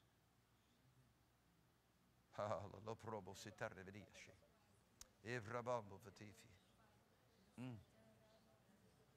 And if he wants to evaluate and examine to see just really how much we're persuaded, he has the right to do that. You just need to walk around praising him. Just walk around praising him. Papa, you're good. Your decisions, your judgments are good. They're pure and they're righteous altogether. I'm going to keep pure heart about him, especially. Hallelujah. I'm going to keep a pure heart about things around me. I'm not going to allow things to be made impure. A watch, I, I, Job said it right. I've made a covenant with my eyes not to behold a maiden. I'm going to keep pure. I'm going to keep things pure. People wondering why they're having to deal with so many assailing thoughts because you're watching too many assailing movies. You're watching too much unclean stuff. Your eyes being imprisoned by unholy things. Blessed are the pure in heart. Amen. They shall see God. Holiness. Hallelujah. It's the same thing. He's given, he's given us this purity. And yeah, do, our, do we get assailed with thoughts make it, are defiling? Yes. But we're not giving place to them. We casting them down. Amen. Hallelujah. Say, come and ask right, left, and center. Yeah, we resist them steadfast in the faith. Amen. Sometimes, uh, sometimes the Lord is, allows it like a storm of assailing thoughts to hit us. A storm, as it were, of circumstance. One dear friend of mine is a preacher, minister of the gospel, said, it's like every once in a while a whole horde of demons get loose from hell. And their first assignment is to attack every preacher on the planet. And it's that way. I mean, it's a good way to describe it. It's just like comes in this huge wave. We learn how not to be moved by it. Hallelujah. Haretaya. We learn it. We're not a bunch of chickens pecking at the ground. Uh, we mount up with wings. Hallelujah. And we soar. Far above the storm. Hallelujah. We walk upon our high places in God. We encourage ourselves in the great things that God has done through our life, the great deeds that have already been done, and the greater deeds that are yet to be done. Hallelujah and the things that Father has done that mightily through our lives, and, that, and the things that He's entrusted into our hands, and the greater things yet that are still to come. Amen. We people of great vision and confidence and boldness. We pursue with passion, with a ferociousness, a fierceness, a tear in our face. That which God has called us to lay hold on. Come on, man. You're not backing up, don't need no retreat. Hallelujah. In advance. Amen. Now, being made free from sin, you become the servants of God. It's beautiful. Isn't that beautiful? Isn't that beautiful? You have your fruit unto holiness and the end everlasting life.